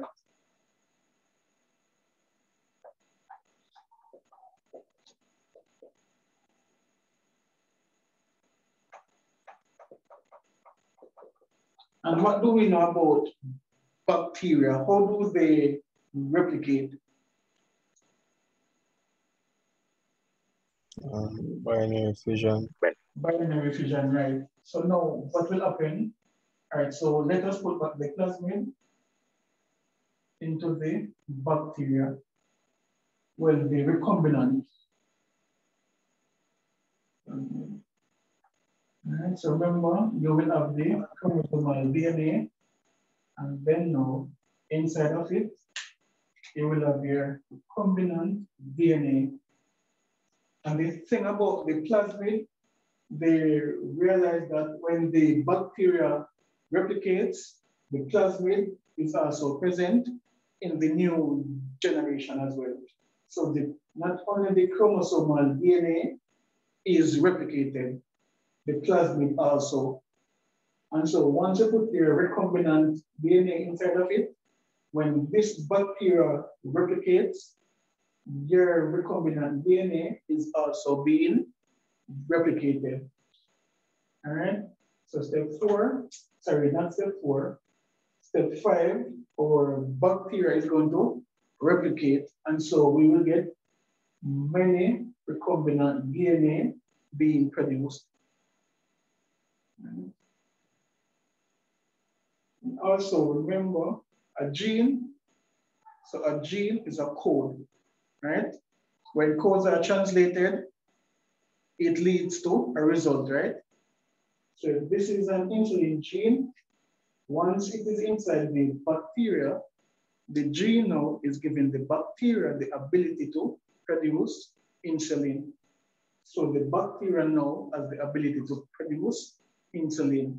Once the code is translated, they get insulin. All right, so step five, the bacteria. Yeah, so this is just a, sir, this is a simplified version, sir. It's for the hard part. there. Hmm? Yeah, This is a simplified version, sir. Where's the hard part? No, at least something like a real. Yes, sir, but the hard part of genetic engineering, sir, where is it? Yes, sir, because you know, I mean, Repeat. the worries were Sir, the asked to hard go part, for sir. genetic engineering. Well, like the enzyme we used to cut the like Oh, you the mean DNA. restriction enzyme? That yeah, metal. So That's the hard part. Right, so we would use right, we use restriction enzyme to cut the DNA. So Isolate the gene. right, so if when you are inserting it, right, a restriction enzymes, and you have different enzymes that do the different types of cuts. All right, but the exam is not few, like couple hours. So at this point, Sir, we need to know the different enzyme. hmm, I'm going to check back these levels. If you have to, I will post it in an answer. All right. So But at least ensure, because the exam is in a few hours, ensure you know the process, all right? If you can add details to it, fine, but you will get your marks for listing what happens. Because what happens, you isolate the gene, remove the plasmid, put the DNA inside of the plasmid, put it back into the bacteria, and now our bacteria is going to replicate. Sir, so we so as a scientist, are doing doing the whole putting back the plasmid into the bacteria, we're going to Mhm. observe to see if the production of insulin is suitable or desirable. If it's desirable to be, I'm not As sure. in like as in like if it if it works, like if insulin is being produced by the bacteria. Yes, it is going to be secreted. in the- So they, they, well, they have different techniques, but the insulin, it would have been secreted and they have their way of collecting it. I don't, I didn't do research the exact way in which it is collected. But when the bact, if it producing means it is going to secrete the enzyme, sorry, not the enzyme, it will secrete your insulin and it will be collected. But in terms of the exact procedure in which it is collected, I'm not certain. Mhm. Uh, But if you do molecular biology or biotechnology, you will go in more details and understand it. it. It's actually an interesting area to do. All right. If it was a regular class, we would in more details and look at some other stuff and, and application. Right. But unfortunately, we just have to try and catch the process. All right. So step five,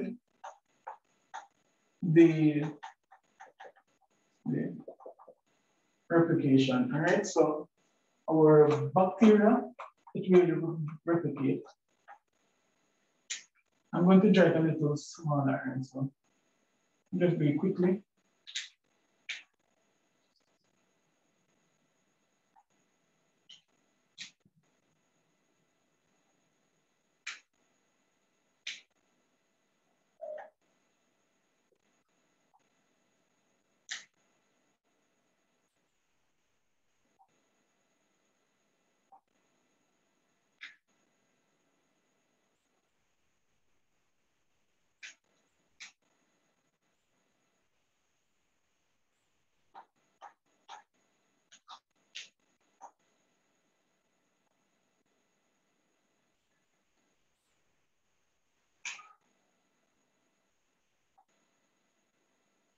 If you want, you can, where you have the replication, you can, if you remember, you can just mention that.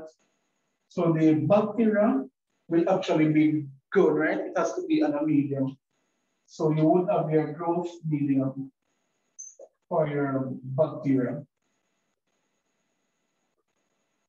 Right? So it's not like the bacteria is in an isolated space. They're actually growing the bacteria. So you would have the growth medium and the bacteria. You would just see them as little colonies, right? So it's not like you will actually see the bacteria like this, right? So what you would see on the surface are what you call colonies of bacteria. So this, this little spot here represents a lot of bacteria.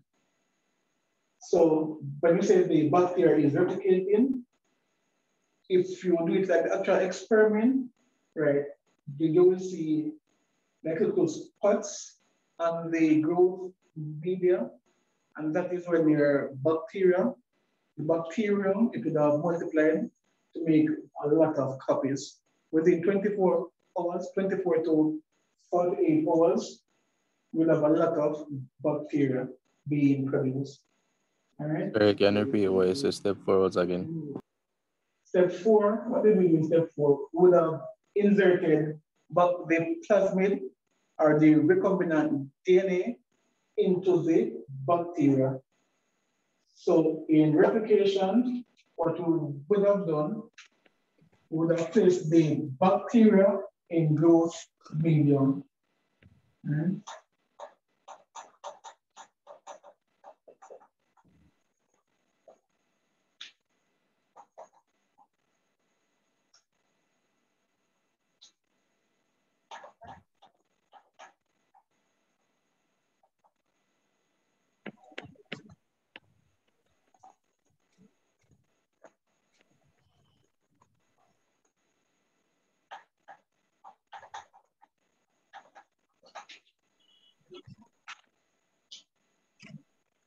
now genetic engineering, it doesn't just apply to insulin production.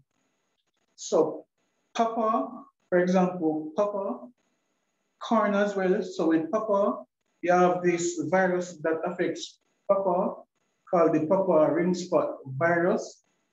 So to prevent that, one professor out here, she did it as well, but I don't know if they allow it out here as it, but in Hawaii, you have transgenic pawpaw. So transgenic, so they are basically, what they did was to give the papaya the ability to withstand the effect of the virus. So they had to insert a gene, and once that gene is inside of it, it does not affect the virus, no longer affects the pawpaw. There was a next instance, a long time ago, right? When I was in university, we we, learned about it. So with fish, because we know fish can survive the cold temperatures, right? So they wanted fruits, I think it was tomato, either tomato or orange, don't remember, to be able to survive the winter. And so they took a gene, so I think they figured out which gene allowed the fish to, to survive. And they put that gene inside of the tomato. But that was tomato or orange to give it the ability to survive the cold, right? But I think the flavor or something else was affected, right? But the point is with this aspect, when you take a gene, the gene is given the ability to something else. Because remember, you know, we said gene is a code, and if the code is translated it will lead to something. So just like the This enzyme here, produce um, proteins and stuff that I'm saying like the genes would be expressed and give the, the organism Exactly. right, abilities So- to do somewhere or whatever. right. So just like here, we just gave the bacteria the ability to do what? To produce insulin, Insulin. right? So with certain disease, right? If we could, certain genetic disease, if we can insert or put certain gene, well, that is a whole which would lead to the question I'm going to answer on the board. When you talk about genetic engineering, especially with animals and humans, there's a lot of concern, right? I'm sure Yeah, some of you may Hazard. Especially with genetically modified foods as well, right? Which would include the pawpaw. And every corn as well is genetically modified. And um, seedless grapes and Exactly, right. A lot of things are Spanish rice, yellow, yellow rice and all that foolishness. The golden It's not rice. foolishness in us here. I, I kind of like those stuff, but you know. Yeah. If you understand it, I'm telling you, it's not like I can just go inside a lab and just say I'm gonna make something. You're you're just going to insert a gene in something and then re- and then release it. It is a very rigorous process. It takes years. It doesn't have to be approved. All right. So it's not like I can just go. I'm going to do something and release it. and there have to be a lot of tests, right? And well, well it's a long process, all right? So, but again, we don't have enough time, unfortunately, to go into it, right? So this is the general process for any form of genetic engineering. Now, this part of it, if it does not involve the bacteria that is being produced, right? So let's say it was the pawpaw. Once we figure, once you insert the gene in the pawpaw, that is where it would end. All right. So it would end in step four. So where, where you insert the transgene, where you insert the recombinant DNA back into the organism, that is where the process would end.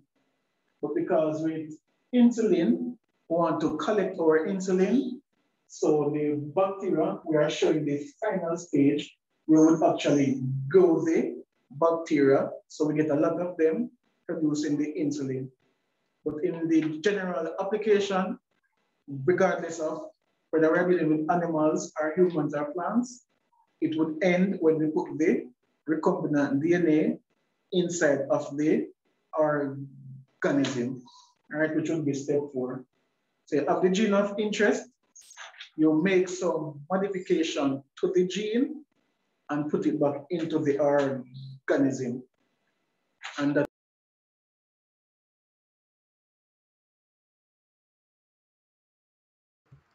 You've muted yourself, sir.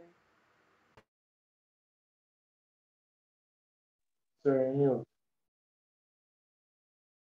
Sir, you are muted, sir.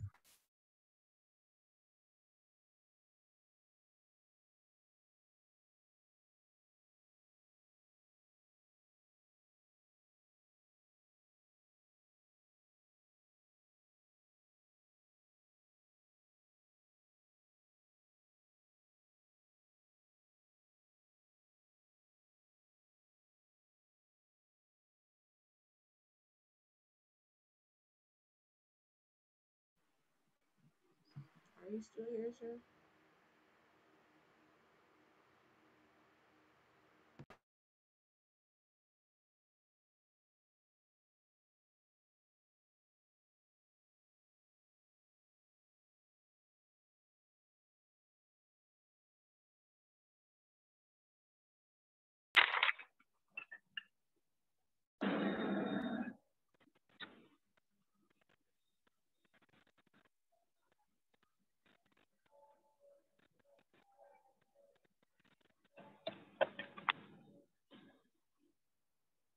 All right, sorry about that.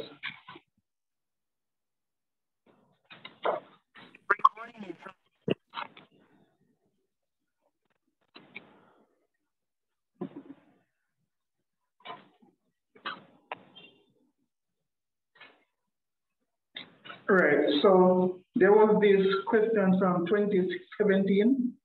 It said to outline the principles of, outline the principles, all right, let me put it on the board. All right, so I'm just going to do this question and then I have to end there, all right? So the principles of genetic engineering.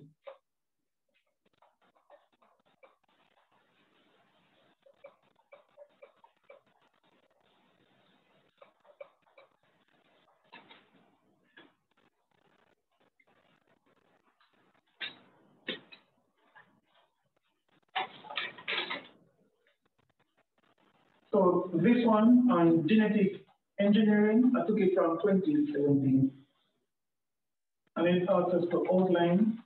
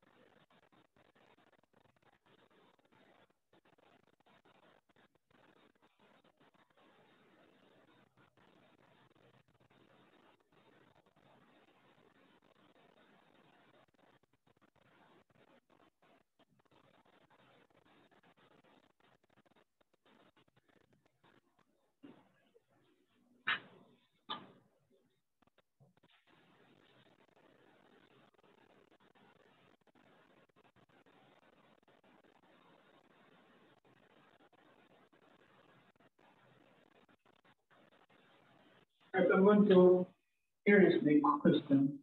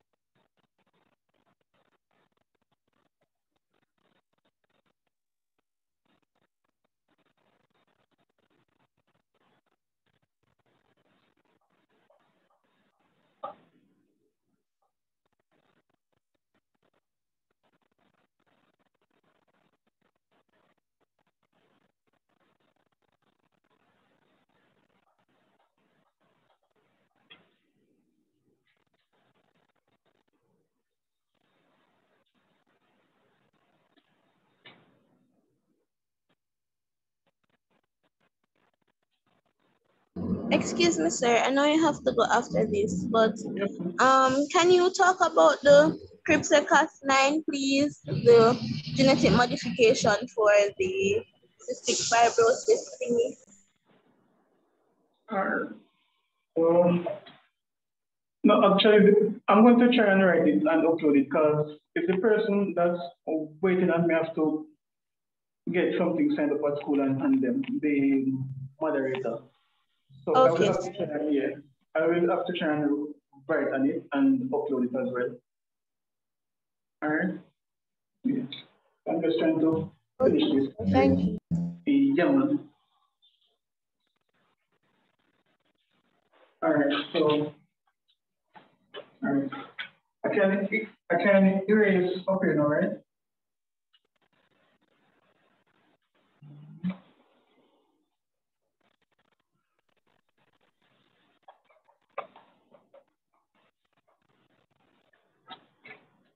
So where were we? Um, sorry, actually the G make. All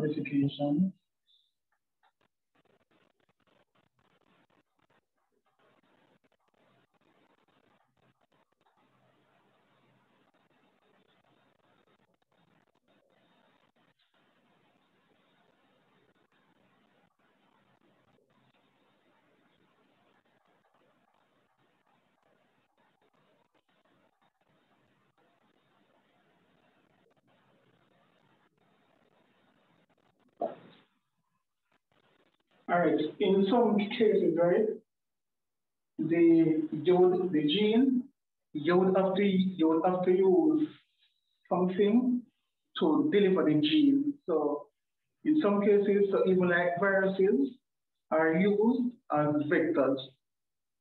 So whereas in with the insulin, you put the once you have the plasmid DNA, I can just put it directly into the bacteria. Remember, bacteria are unicellular organisms, right? But also have multicellular organisms in which we perform ge genetic engineering experiments with. In that case, your gene, you have to put it inside a vector, right? So the vector is what will carry your gene into the host, all right? So if it's outside of where we're just inserting a gene into a bacteria, if I put it into animal, plants, humans, we would need a vector, all right? And then we would insert the vector into the host. And so that's basically some of the steps. Right? The other part is that uh, for, I'm going to take the picture and post it, right?